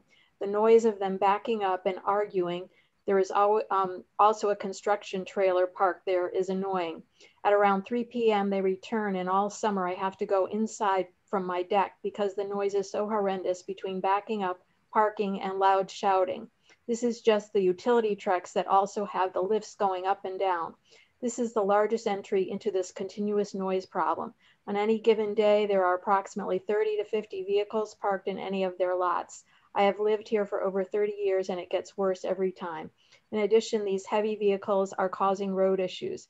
I now have to look at these vehicles as the line of sight keeps encroaching. They are continually cutting down trees and expanding the parking areas so now it is uh, many parking lots and keeps getting worse, not to mention louder. I strongly oppose this ongoing expansion of parking lots. This has been going on for years, but recent expansions seem to be uh, more of a problem for me. With the trees being removed, there was a property buffer, but I now have their back spotlight shining into my bedroom at night. And the recent storm has taken down two of their trees that fell into my property. Um, and just She's 72 years old and recuperating from major surgery. Um, so that was Carol. And now for me, um, you know, Elecnor Hawkeye says that they use this as a laydown area yard, um, which from what I understand means that all the items are in active use on an offsite, you know, on offsite projects um, during the day. But the mobile office trailer with the electric hookups and the portable restrooms seem to be permanently on the site. They don't leave during the day. So this is being used more as a permanent storage. Um, and then Elecnor Hawkeye says that there are six utility bucket parks. Um, I guess there was some letter that says that there's six utility bucket trucks parked there, but in fact, um, with the storm this summer, there were probably at least 20 to 30 there. Um, so right now there, um, you know, in terms of the material that's there, there are um, telephone poles, material trailer, one wire reel trailer, material dumpster, and other material. And I guess my question is, what is to prevent Elecnor Hawkeye from increasing these amounts? So I strenuously object um, to, to this um, encroachment on my quality of life. That's all I have to say. Okay, thank you. Mm -hmm. Does anyone else wish to speak on the application? Sure. Hi, um, that's just my grandson's name. Uh, my oh, okay. Lynn Burdick, and I'm at 58 Tinsmith Crossing. And I've lived here for about 30 years now. And I've watched over the years um, the development down the street from me at 61 Arrow Road change little by little. And um, the biggest change was um, recently when when the trees were cut down that went along the fencing. I mean, when he when the owner put up the fence, I thought, wow, that really looks terrific, you know, compared to what it looked like before. Um, but then he started to cut back the the trees and there's no tree line abutting the property at the top of Tinsmith Crossing. And the woman that uh, Joan just um, mentioned her her memo um, is probably you know is, is very disturbed and i'm sure the people along the top of that hill are all being affected by it um, you know while the property's changed hands over several years it's still owned and operated by the same people who have this long history of non-compliance with the zoning regulations. And if the lot's approved for contractor storage for this application, there's no guaranteed in the future that this tenant would be storing vehicles and materials that are even more incompatible with the neighborhood. Um, the prior conditions for the approval to use the old north lot, as Mary mentioned, and the open field area that's now the new north lot were conditioned on submission of a site plan that included adequate screening, paving, landscaping, and the entire area to be used. Um, a provision of draining and the assurance that smaller trucks and vehicles parked there would not be leaking oil and grass, gas and would not make undergoing maintenance there. And then in 2017, the owner refused to make those changes and said he'd pave that part. Um, the, the old lot was approved for passenger vehicles not boats and campers and food trucks and other miscellaneous outside storage. It was supposed to be that if somebody rented space inside the building, they had the option to be able to utilize the back for parking their vehicles. Um, you know, there's there's also it's a, it's not another issue, but just the condition of Russell Road and the wear and tear of the vehicles going in and out. Um, the road itself is a mess and, and it's probably going to continue to be that way. I mean, we have a, um, a neighborhood that's been here with 172 units. And I understand this gentleman needs to have profit to his bottom line, but he continually doesn't abide by the rules that your committee has set up for him. And he waits and He's very patient and then he just kind of sneaks in something. And then we have to go back to the board again and deal with this. And I'd like to suggest, regardless of what the outcome of this um, location and, and what you uh, what you decide, that that that area should be monitored um, to ensure that he does follow the rules and that we don't have to continually come back and have his hand slapped. And then somebody that's a, a customer of his don't end up getting what they want. The last time they had a pro we had a problem with the fellow about three years ago. A, a fellow was in there with trucks and he claimed he had a three-year lease, which you know was questionable. Um, he ended up having to move someplace else because they were doing something that they weren't supposed to do. So I'm just very frustrated with the whole thing. And, and we try as a, um, a neighborhood to try and support each other. And I hope you really listen to what we have to say and, and take it at heart. So I appreciate it. Thank you. Thank you. Does anyone else? Azira? Hi, good evening. One of the things that I was noticing um, back in the summer and now even you know more prominently is when you drive up Russell Road, all the um, all the stuff that you see now in that back lot with you know today I think maybe there are one or two trucks there, but normally there are quite a few more. And at night, recognizing that the bucket trucks need to be up for I guess regulations it just doesn't seem to be the type of vehicle. I mean, if you're having screening that, you know, we ask the owner to put around, I mean, half of this stuff is above the fence, it's up in the air. So you see all the, um, at least half of the trailer and all of these things up at night, and it's just not aesthetically pleasing. You know, when you have a car, when you have a small van or something to that effect, and it's hidden by uh, by the fencing, you know, you're not really seeing it. So that is something that um, I don't know, just is, is sad to see. And it's just not something that we would uh, like to see in our neighboring community. And um, um, gosh, I had another thought here.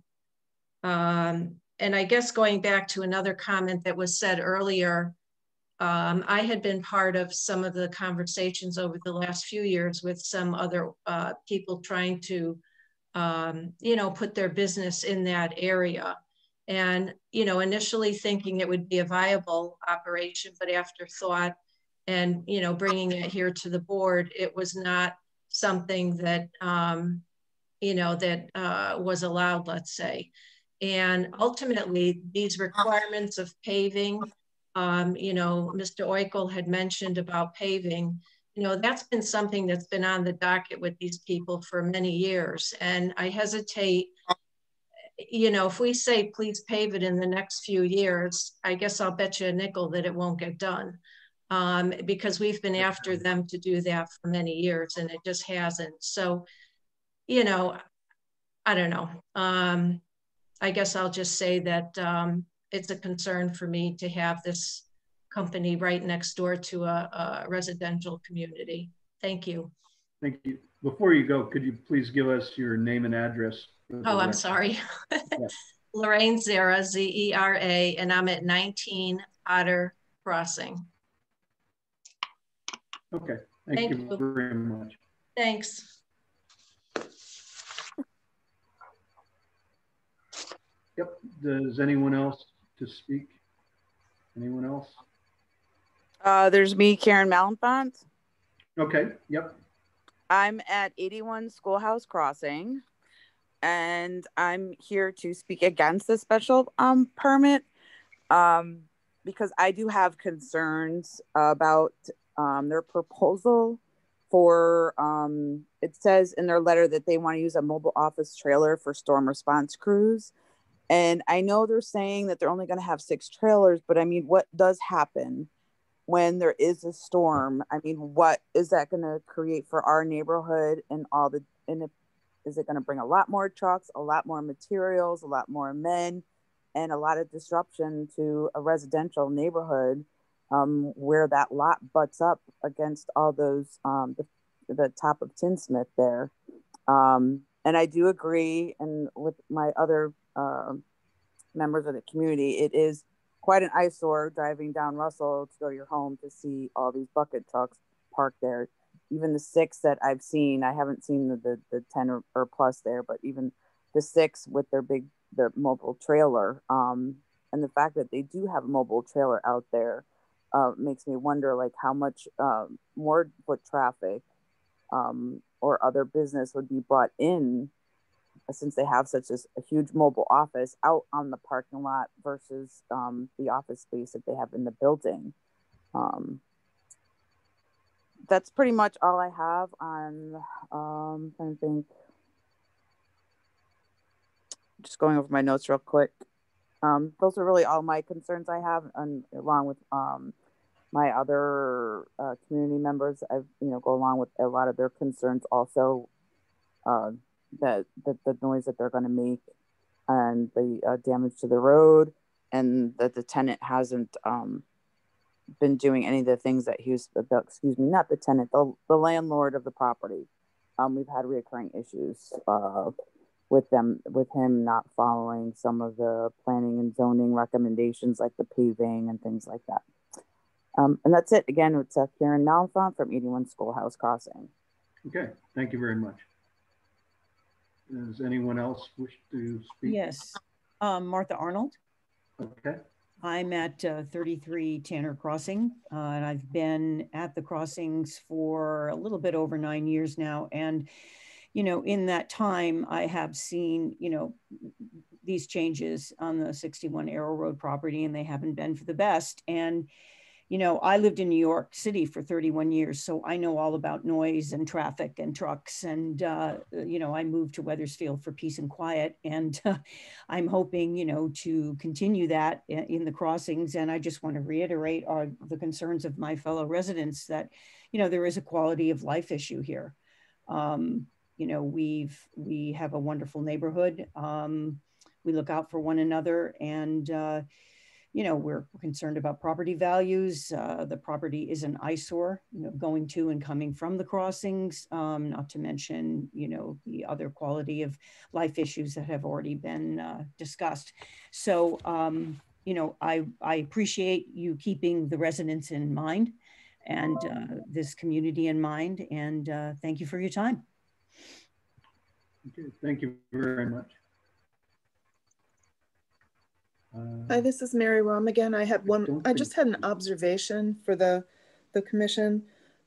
Is it the standard practice for an owner of a property to send the tenant to the commission to ask for permission to do something? Is there some reason, this is what the history is like here. Is there some reason why the actual owner of the property isn't here, it always seems to be the case that something happens there that triggers a meeting like this and the owner never shows up. I feel sorry for the people who rent the space out there because they're the poor schmucks that sit here in front of this board and have to answer questions about, well, are you going to pave the lot or are you going to do this or that? And it's not up to them to do it, it's the owner. So, where's the owner in all of this?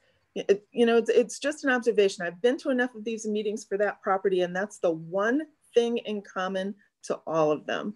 And that's all I have to say. Thanks for thanks for hearing us, though. I appreciate it. Okay, thank you.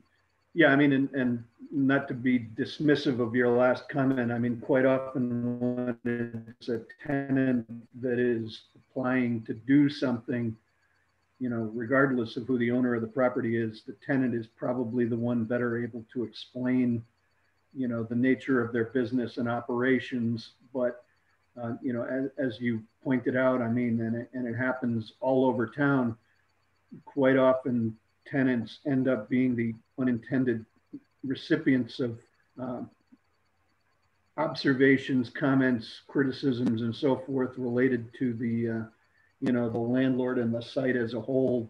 Um, you know, and, and, frankly, sometimes we've been kind of put in a dilemma of, you know, do we do we punish the the tenant for what the landlord has done somewhere else on the site, or do we you know, walk a fine line trying to figure out some way to, you know, to allow the tenant to do what they are applying to do, but at the same time, you know, create some kind of meaningful pressure to achieve compliance or remediation from the landlord or owner, you know, elsewhere on the site. And it's, you know, it's not a perfect situation, but it, it does arise frequently. I mean, and then there are some cases where, you know, the owner is, is wise not to appear. Um, Peter, one of the comments or one of the recurring themes was basically how this, you know, north lot sort of manifested itself out of nowhere. I remember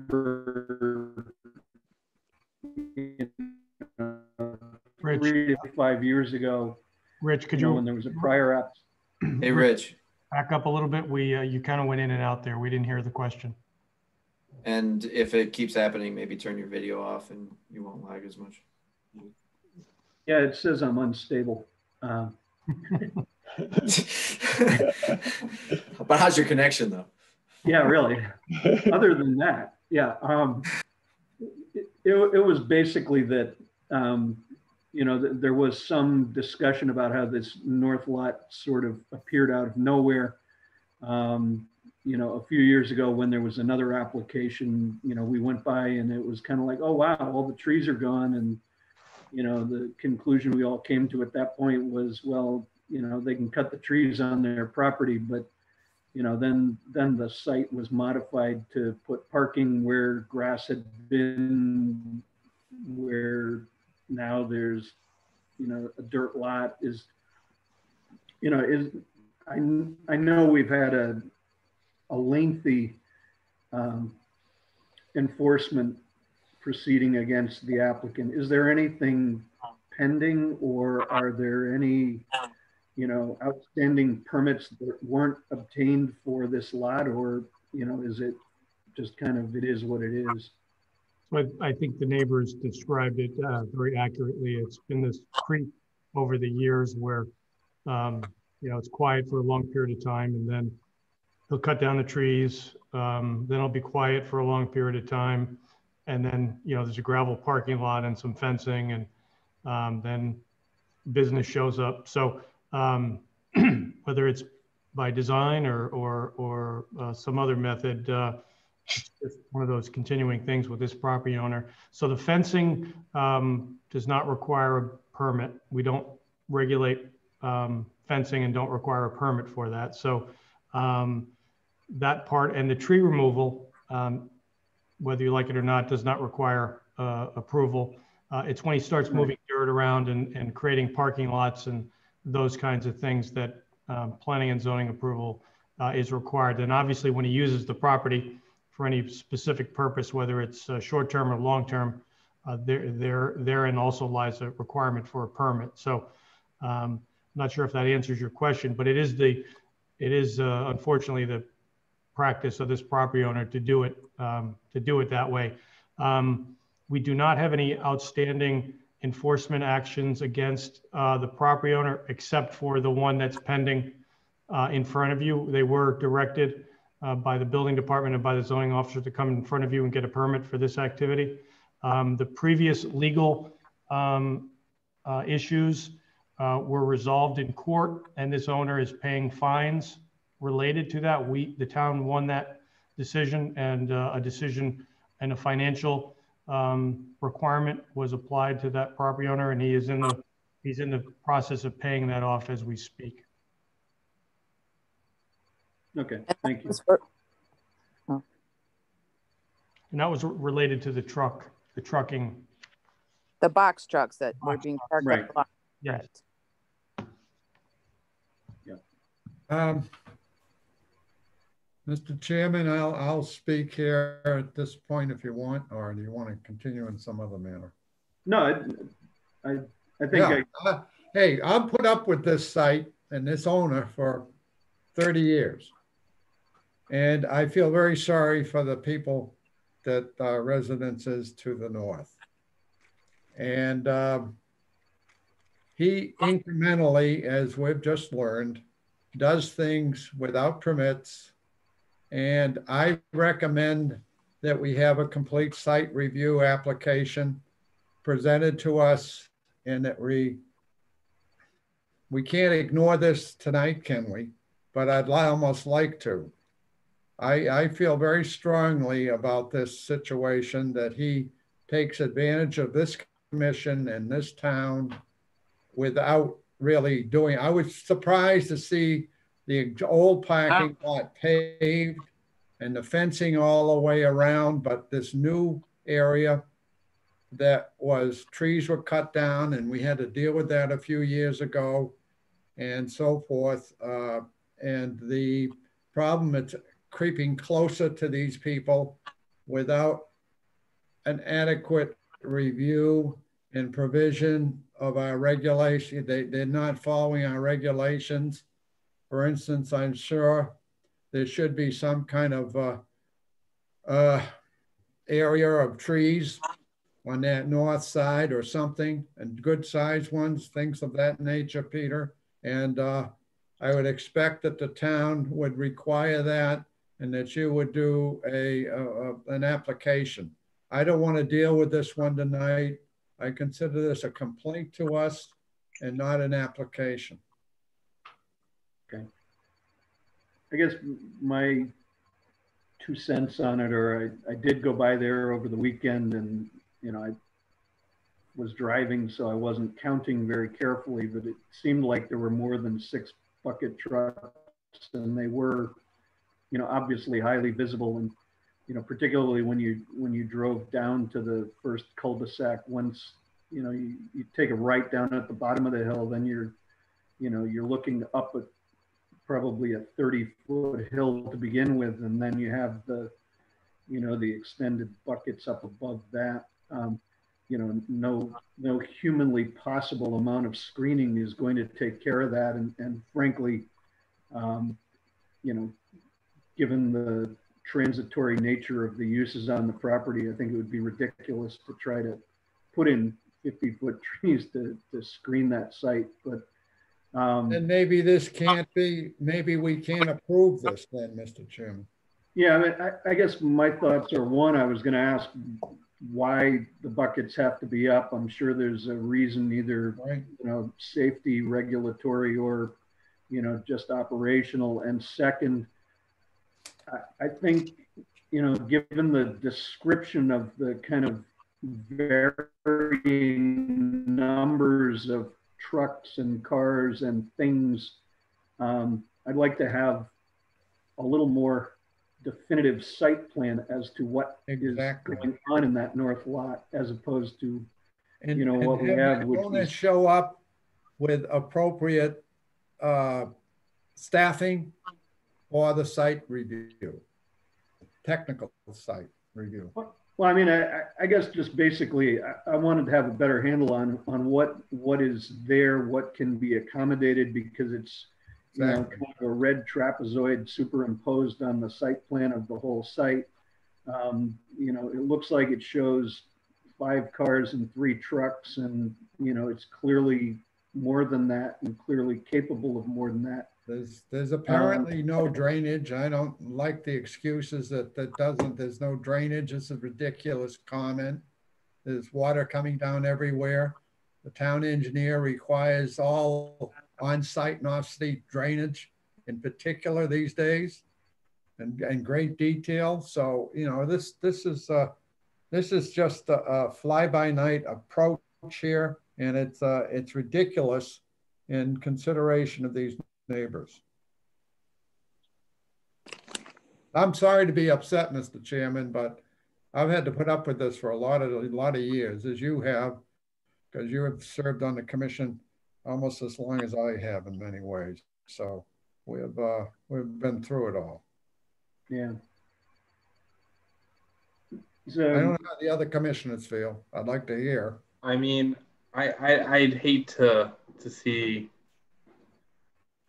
I hate to see them punished. Um, you know, gentlemen before us today, um, because I think a lot of these come back to the property owner. Um, but at the same time,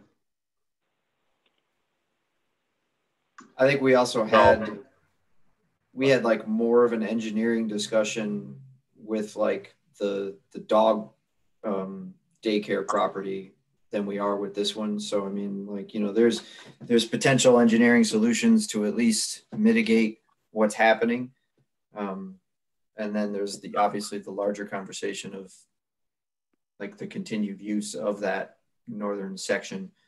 But uh, you know, just putting trees up, like I don't know, it's like and and you know to commissioner vieira's point it's like you're unfortunately you're punishing him but like avenues of making that northern area maybe a little bit more useful uh, without impacting the neighboring community like there, there's potential for solutions there i think. Yeah, with, with noise walls like because the fencing that's out there i don't know if anybody was out there it's like you know i'm taller than it. So I figure, you know, if you put something that would be a little bit more robust, I mean, they have, you know, timber noise walls that are like 15 feet high on the highway. So maybe that's something that can be effective here. Whether or not that that's pretty to look at compared to what's out there today for the neighboring community, you know, that's that's what the debate is for. But um, you know, seems like we can put a little bit more thought into it. okay. Does anyone else have any comments on this? I'd like to hear the applicant respond to some of these concerns. Sure. Yes, absolutely. So I, I noticed a reoccurring uh, question was the buckets um, visible in the air. And unfortunately, pertaining to these neighbors that our safety department, uh, corporate HR, that is required by them to have them up, one for safety of, of the community or people trying to climb and, and get in the buckets because you can operate most, most of the truck from the bucket. The other is security of tooling and uh, the machinery that's inside the bucket, keeping it up up in the air at that height um, prevents anything from being stolen, which is, has greatly happened in the past. Uh, another thing about uh, the paving in the yard, I, I, I wish I could speak more to that as that um, this that how that yard was put together was before I became involved in this situation, unfortunately, and I wish I knew more and, and I wish I could do more. Um, but unfortunately, that I can do what I can on, on that on that note. Um, and then the equipment, I, I know you guys want a, uh, a more accurate statement of what is there, and uh, I, I apologize for not having a better uh, better number as in vehicles as it, it just it varies it greatly every day, whether it's people coming in, whether the work is there, whether it's raining out. It all it, it's a variable. Um, like today, I know there's probably three or four trucks, and, and I'm sure there's been three or four times as many. Um, and we can certainly, um, moving forward, we can definitely disperse that and make it not a. Uh, there's other places we can go without getting rid of everything there, but we can, if that's a main concern about the amount of vehicles traveling on the road, we can we can work with our other yards and our other um, employees to to see where we can disperse these vehicles um, the best we can while still being able to operate out of that yard. And I know another another question was about our, our mobile office trailer. And we call it a mobile office trailer because that's what we, we put on site to site or, or show up to show up, whether it's a, a, parking lot like this or off in the woods somewhere on, on, a, on a, a project through the trees. Um, mobile office trailer seems to be the term. It doesn't leave with the crews. That is correct. Uh, we, we, I think inside there, there's a, there's fold up chairs, a fold up table and a, and a printer and copier for our general foreman um, which we have three of, and those are really the only people one allowed to use all of that, and two that would ever be in there. Um, in the morning on rain days, uh, everyone's required to come in. We'd have a job briefing whether we're going to assess the day, and that's somewhere where we go to have those meetings because it is bigger than our office in the building. And, and to be generous to the other tenants in the building, we're not tracking mud and, and crews of people through through their building to get to our office in the building is just a computer desk for more or less project managers or engineers working working on computer. It houses about two people on computers compared to where that that office our mobile office trailer out there um, is for the crews and, and, and, the workers themselves. And then the, the tall trailer, um, that can pro- that can be addressed. The tall trailer is where we keep bolts, cones, safety equipment, uh, road signs, any any other type of materials other than poles and wires that we may use, consumables you could call them. Um, it's a whole bolt. That's that's our mobile storeroom. So in, in Manchester office, our main our, our, main Connecticut office has an entire storeroom with shovels, any any safety equipment, anything that's for that office and those trucks. And, and that big trailer is for all that equipment. So show up to show up, all you have to do is hook the trailer up and, and go to the next show up. Um, and we can move quickly and, and, get out of the site quickly when need be. But during the time we stay there, that is that's our storeroom for materials, any any consumables or small products. I think I covered. If there's any other things I missed, I tried to make notes of everyone's concerns about the property and, and touch base with everyone um, and get them the best answer I can give them based on the site. Okay, thanks. Um, ask the commission, where do you want to go with this? You know, do we want additional information or if so, what?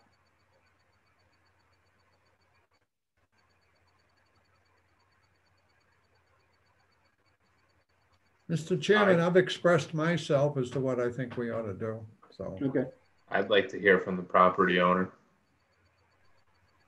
Um, Mr. Chairman, Yep. I am. Uh, we've got uh, quite a lot to deal with in this uh, piece of property, and have had for uh, you know well over a decade now. Um, and it does, yeah, more than than than certainly more than one decade now. And uh, I, I tend to think we need uh, one of the things that we need before we would act upon this application is a, uh, a, a, report that would detail uh, the various uh, you know compliance issues, the uh, past determinations and conditions that have been imposed by uh, the Planning and Zoning Commission is applicable to this property, and what the status of of compliance with those conditions are you know, over the, the lifetime of various enforcement actions and applications with regards to this property, because our only our only means of of uh, control over really what happens here is when an applicant brings an application that we have to act upon or are requested to act upon. and I don't think that we're able to exercise that kind of, of authority uh, in an informed way without having a full and complete, uh, uh, you know, uh, history and, and status with regards to uh, the past efforts and actions and requirements as it relates to this property. So I would I would tend to think that we we would need that, you know, a, a full and complete report before we would consider this application. So my own feeling is that uh, we should uh, delay um, uh, making any decision with regards to this application until we have, uh, you know, a, a, complete report. I guess just to, to clarify, would you be looking for a complete report of just what is kind of current and outstanding? I mean, for things that are, you know, applications that may have been approved or denied in the past that are no longer relevant, um, you know, or, or no longer active, the, the enforcement act uh, action that's been, you know, concluded or just the the currently applicable requirements and whether or not they're being complied with? I would tend to think you could limit it to uh, uh, current uh, you know, current applicable requirements as it relates to the ongoing use of this property by the owner and other parties with whom the uh, the uh, the owner has a, a relationship with, such as the applicant in question. Okay. Yeah, I mean, I, I thought that made sense, you know, rather than war and peace about everything going back to 1965 here. Yeah, well, no, that's the, no. I'd say you know where where applicable and where relevant. Yeah. Okay. What, George? Yeah, I just wanted to say, even though I said we've had difficulties for 20, 20, uh, 30 years at this site with this owner, he has done a good job on most of the site at this point. I was, in fact, impressed with the fencing and the upkeep of the front part and the building and all of that. So we don't want to need to go back over what happened in the past. It's yeah. just mainly this new end of the site and maybe some aspects of the existing situation there. But mainly it's that at the end of the site that he's asking for, that they're asking for tonight and that appropriate uh, requirements such as drainage and paving and and uh, any any uh, security for the neighbors or anything like that uh, should be addressed. So you know those are the things we have to get a handle on here, rather than the approach that we have received tonight, which is an explanation of what's what's there. It's really not. It has no dealings with paving, drainage, or any of the things that we normally require of an applicant for a site. Okay. Peter, do you have, do you think you have enough guidance from this discussion to be able to work with the applicant and or the owner to come back with something?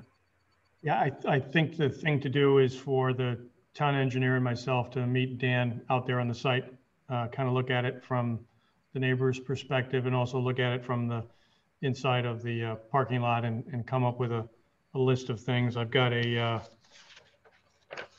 long list of notes um, that I think will uh, also be factored uh, into that site inspection. So uh, we'll try and set that up.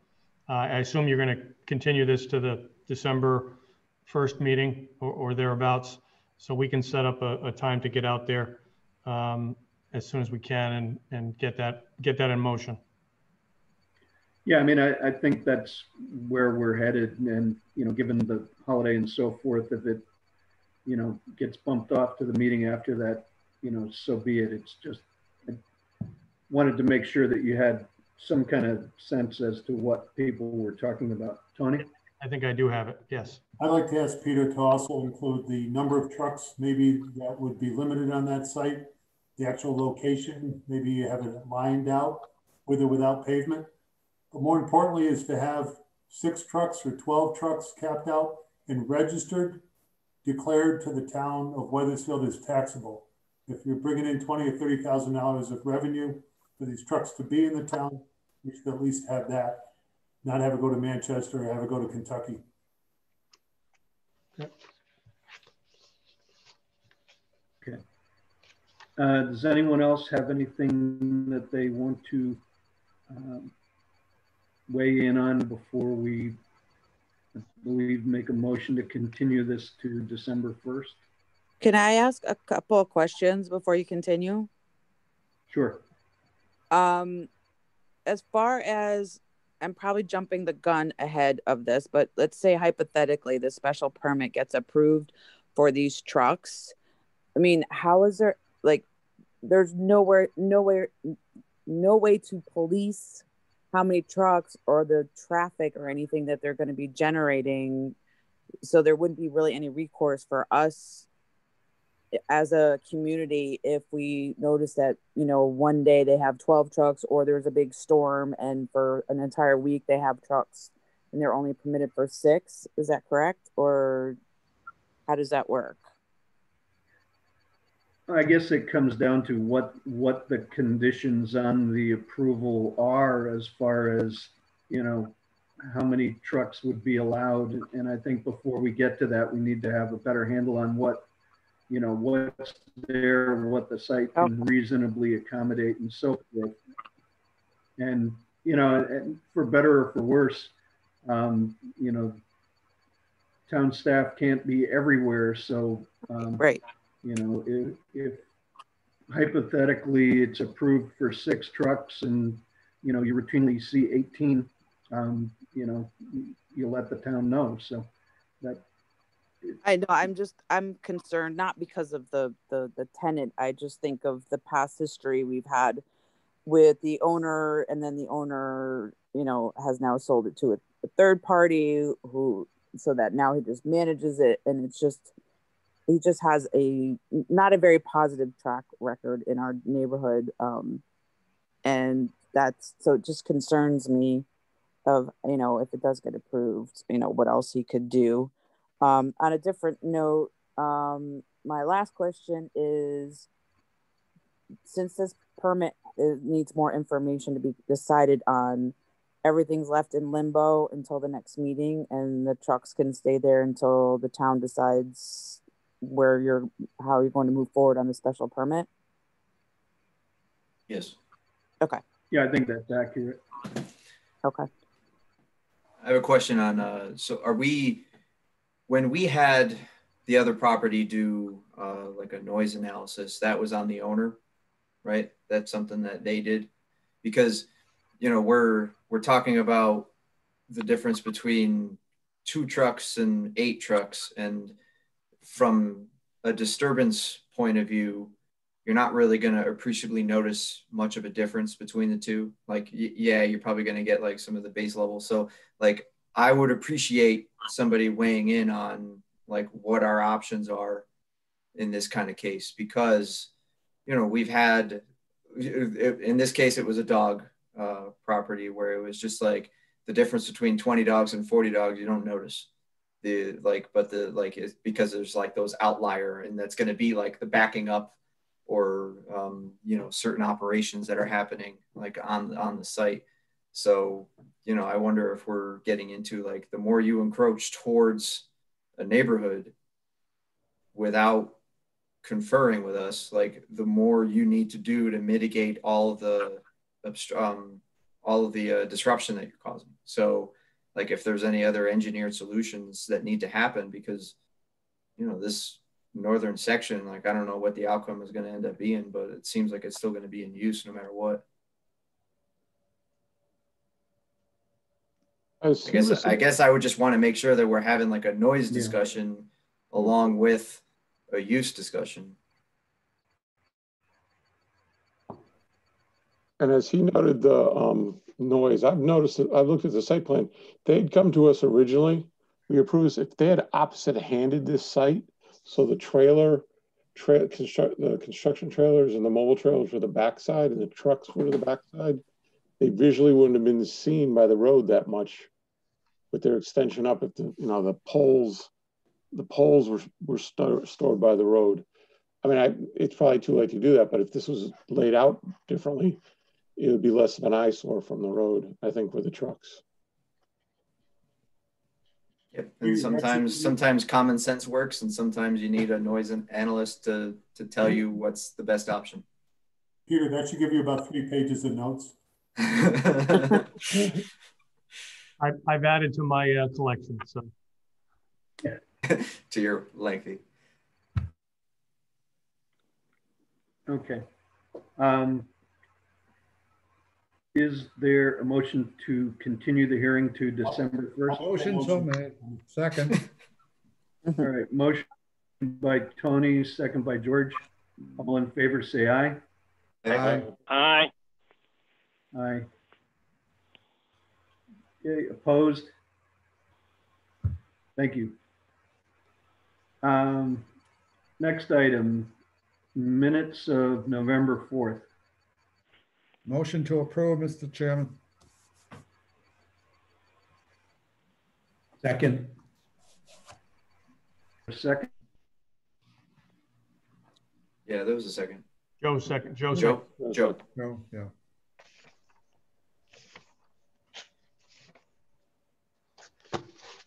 okay. Any discussion? If not, all in favor, say aye. Aye. Aye. Aye. Uh, Abstaining. Okay. Opposed? All right, thanks. Uh, next item, staff reports. We've punished Mr. Morrison long enough. We'll let him take the floor with the fence regulations.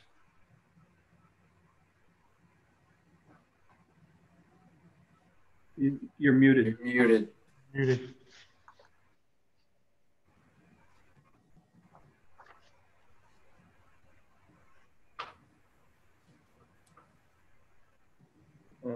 So, Still muted.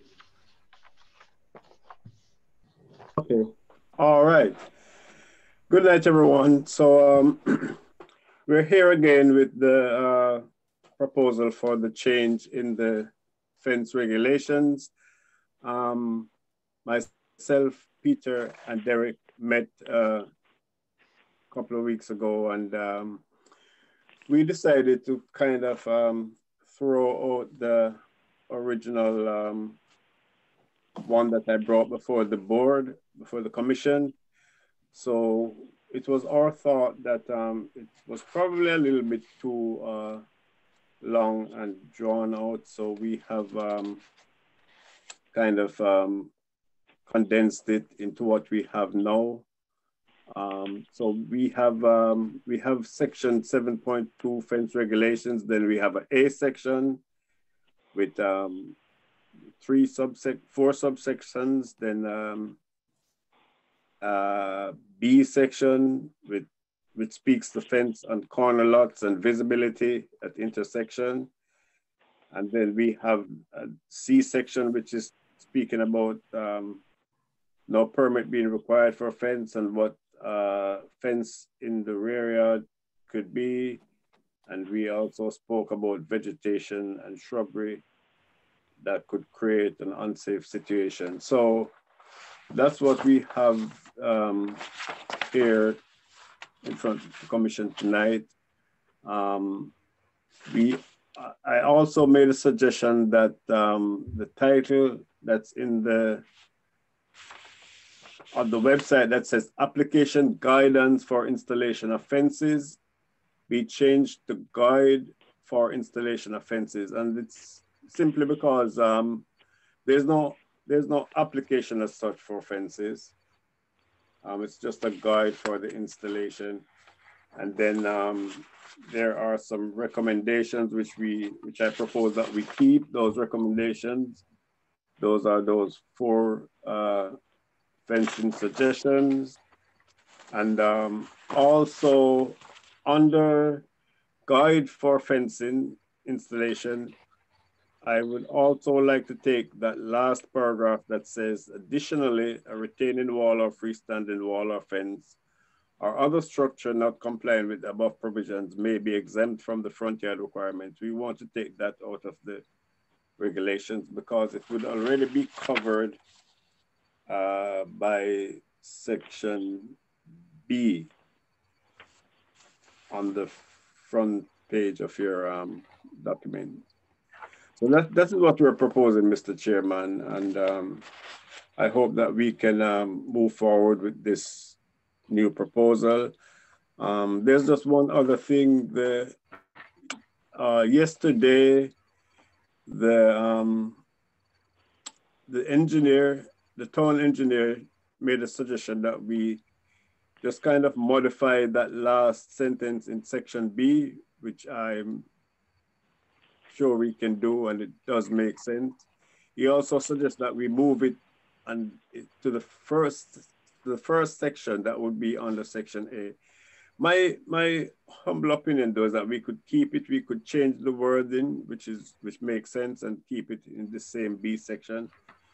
But um, it's left up to uh, you know suggestions what we want to do from here on.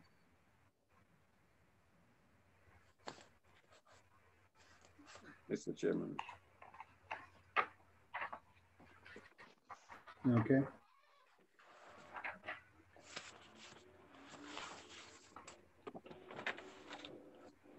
Does anyone have questions? The chairman appears to be clear and right to the point. Peter, do you have any comments?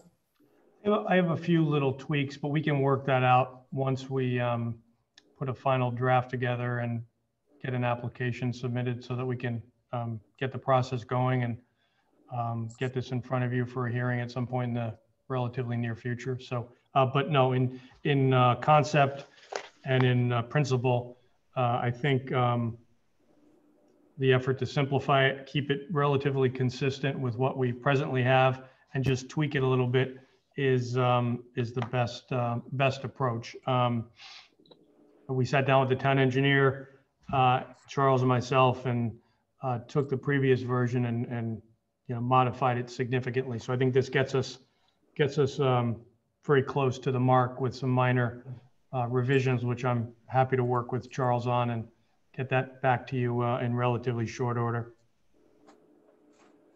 Peter, this is for installation of residential zones only, right? If I'm reading the first sentence. Um, yes. Well, let me just. It's in the. It's. Let me just see this. It's in section seven point two, which is. Um, that's a good question. Um, it says installation of fences, but it doesn't say residential fences. It says, right. And it Yes, doesn't say commercial either. So Yeah, um, this, this section is typically speaking to, um, to residential fencing, yes. Yeah, that should be in the title. but you raise a good point that it if we may we may want to not apply it to commercial given obviously you had an example tonight this uh, well i don't know what the height of that fence was but um, so so that's a, you make a good point that we probably need to talk about and just clarify that Yeah, I mean, I think this is just general performance standards. so probably it, it applies across the board then so we may we may need to be mindful of whether we need to tweak it as it relates to commercial properties or have some exceptions or something like that Yeah, that makes sense. I mean, we probably possibly could just have a, you know, kind of a caveat at the end saying that, you know, in commercial and industrial areas, the commission may impose such other requirements as, you know, may be appropriate for the, for the site. Sounds good, Mr. Chairman. Okay. Good. Thanks very much for your efforts on this. Okay, and um, before, if there's no other comment, uh, before we proceed, Mr. Chairman, I'd just like to bring up point of interest here um, regarding the zoning board of appeals application that we have received. Um, I noted the um, email that was received that was sent out today and um, I do apologize for not bringing this to the, to the commission's um, attention before. Uh, however, um, the zoning regulation section 10F4 speaks to the fact that prior to any action on a use variance, the zoning board of appeals shall submit the applications for such use variance to the planning and zoning commission. Uh, and any report submitted by the commission shall be read at the public hearing and be part of the record of application. Right. I, I, I felt that we we could go to the Board of Appeals and then the way all the regulations is written, and then the Board of Appeals would um, make a submission to the zoning commission uh, before any action. But maybe it should be the other way around. We should have brought it to the zoning commission first and foremost, and then um, the zoning commission would submit a report, if any, to the commission, and then um, the commission will act on that and um, come up with a conclusion. Um, I'm just throwing this out for uh, discussion, Mr. Chairman, as to how we proceed from here. And um, I will make it my point of duty that any other zone um, use variance that comes before the zoning board of appeals, we make the appropriate submission to the planning and zoning commission before it even gets opened in the zoning board of appeals. No, I, I, I, really appreciate that. And I mean, that was something that was added in the regulations, I don't know, 15 years ago. Um, and it, it just kind of was overlooked consistently. And I think, frankly, the only, the only time that we had a, an issue with it was with the, the car dealership on 9th Street in the Berlin Turnpike. Um, you know, because it came to us basically as a fait accompli where all we could do was, um, you know, count the cars on the site, you know, and not weigh in on the use. But um, it was something that, because of circumstances long before you were here and probably before Peter was here, um, you know, we had some issues with use variances. So we made a specific point that at least having it referred to planning and zoning for, you know, some kind of feedback as to, yeah, that makes sense in that particular zone, or, you know, are you insane? Um, you know, somewhere in the in the spectrum between those two things, um, you know, just basically getting a temperature check from planning and zoning um, understanding that the ultimate decision still rested with the ZBA, um, you know, was something that we wanted to have. And, you know, it, it was, it was the kind of thing that since the vast bulk of the variances have to do with dimensional things, um, you know, having it, having it as a checklist, oh, this is a use variance, we've got to do something different with is something that you know, none of your predecessors had on their checklist either. So it, it's not like, um, you know, it's, it's anything particular to, to your tenure. Um, but I'm, you know, I, literally somebody asked me last night, you know, what's the sign for? Um, you know, and I looked it up and said, oh, it's a use variance. Gee, you know, so I think, you know, just when you get an application for a use variance, you know, sending it to Peter to include in the packet for the next meeting. And if we have anything to say about it, you know, it'll, it'll get back to, you know, get back to you to go to the ZBA for their hearing. Um, you know, and again, ultimately it's their decision, but it is, you know, something that we had consciously put into the regulations because of instances in the past you know, for example, I think at one point, almost all of the drive-through windows in town were use variances um, rather than anything that was regulated. And there were a couple other situations where, um, you know, there, there were uses that were consciously not permitted in certain zones and then magically they would appear. So uh, it was something that we had purposely and intentionally put into the regulations, but um, it happens rarely enough that it just kind of fell through the cracks occasionally.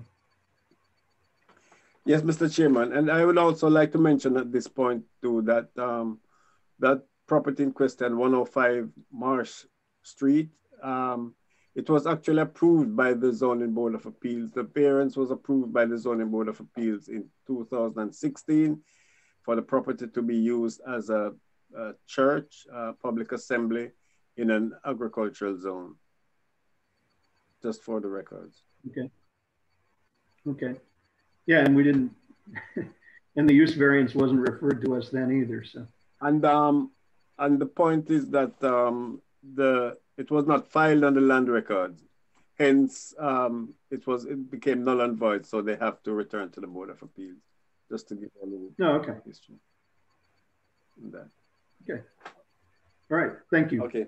Mr. Chairman, just one other thing to bring to your attention. I got a phone call from the uh, Wethersfield Country Club. Uh, the recent um, storm uh, and the uh, you know period of time that it's been up, the uh, screening and netting uh, at the driving range. Um, is, some of the poles I think have actually deteriorated to the point where they need to replace um, many of them, and then put up a new um, new series of net nets to keep the uh, the uh, long hitters or the or the sh- shankers or I don't know what the other term is in golf um, from hookers. Hookers. I yeah.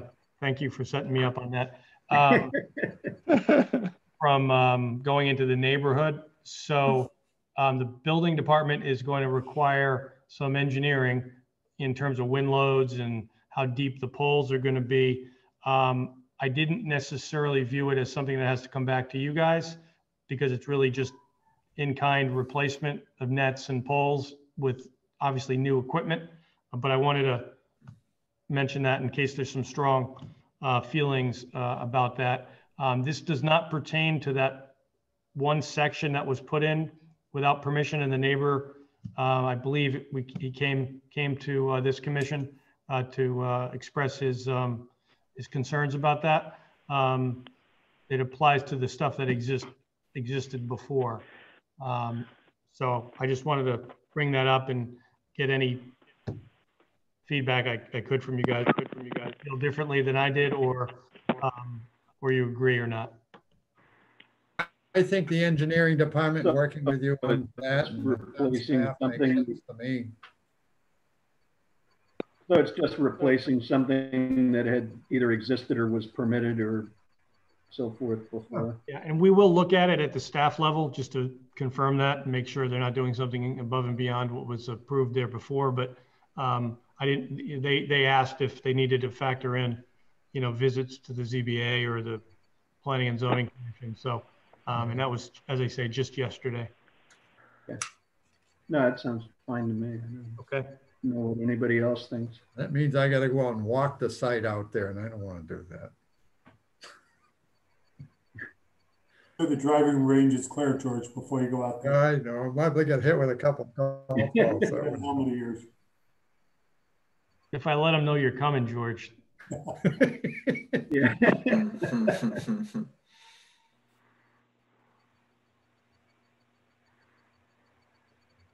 All right, public comments. There is no public.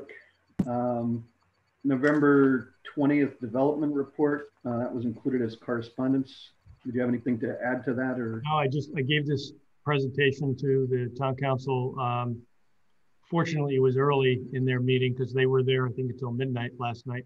Um, Really? so unless you have any questions, um, there's a lot of activity going on in Old Wethersfield, a whole bunch of things. Um, and uh, we got a couple projects, uh, you know, under construction. The the um, former Puritan Furniture. If you've also been up to the former Pet Supply up on the Berlin Turnpike, that came together uh, pretty nicely.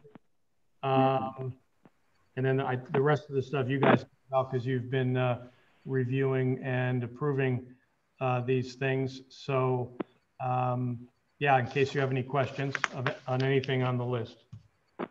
Okay. Thanks very much. Sure. No, no problem.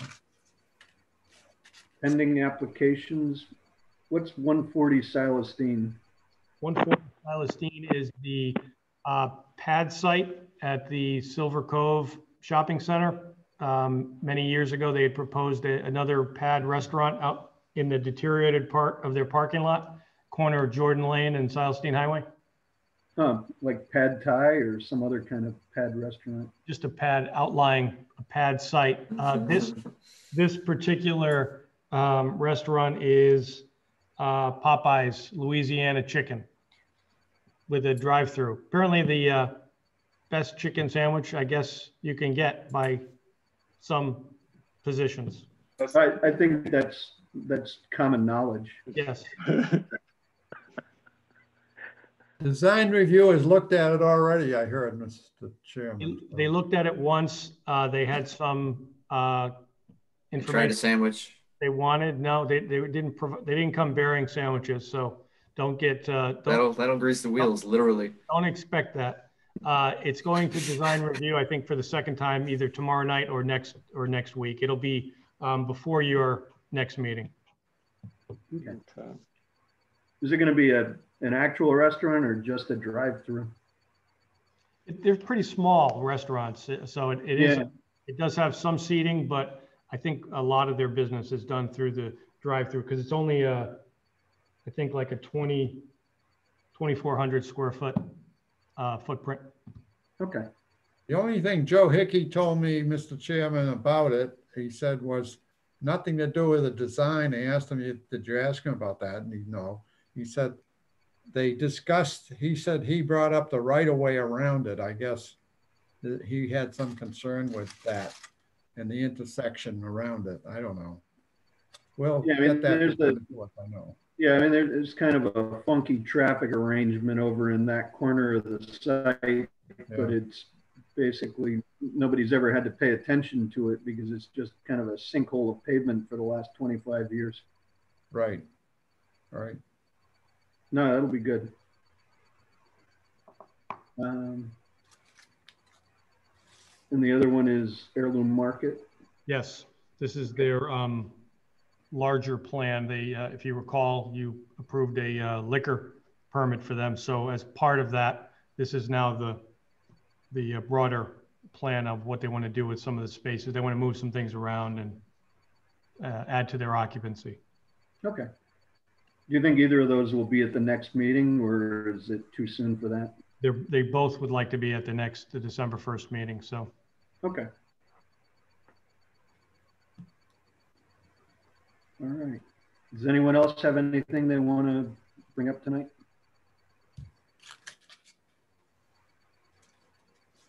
I'll take that as a no. Uh, Is there a motion to adjourn? Motion ma- made.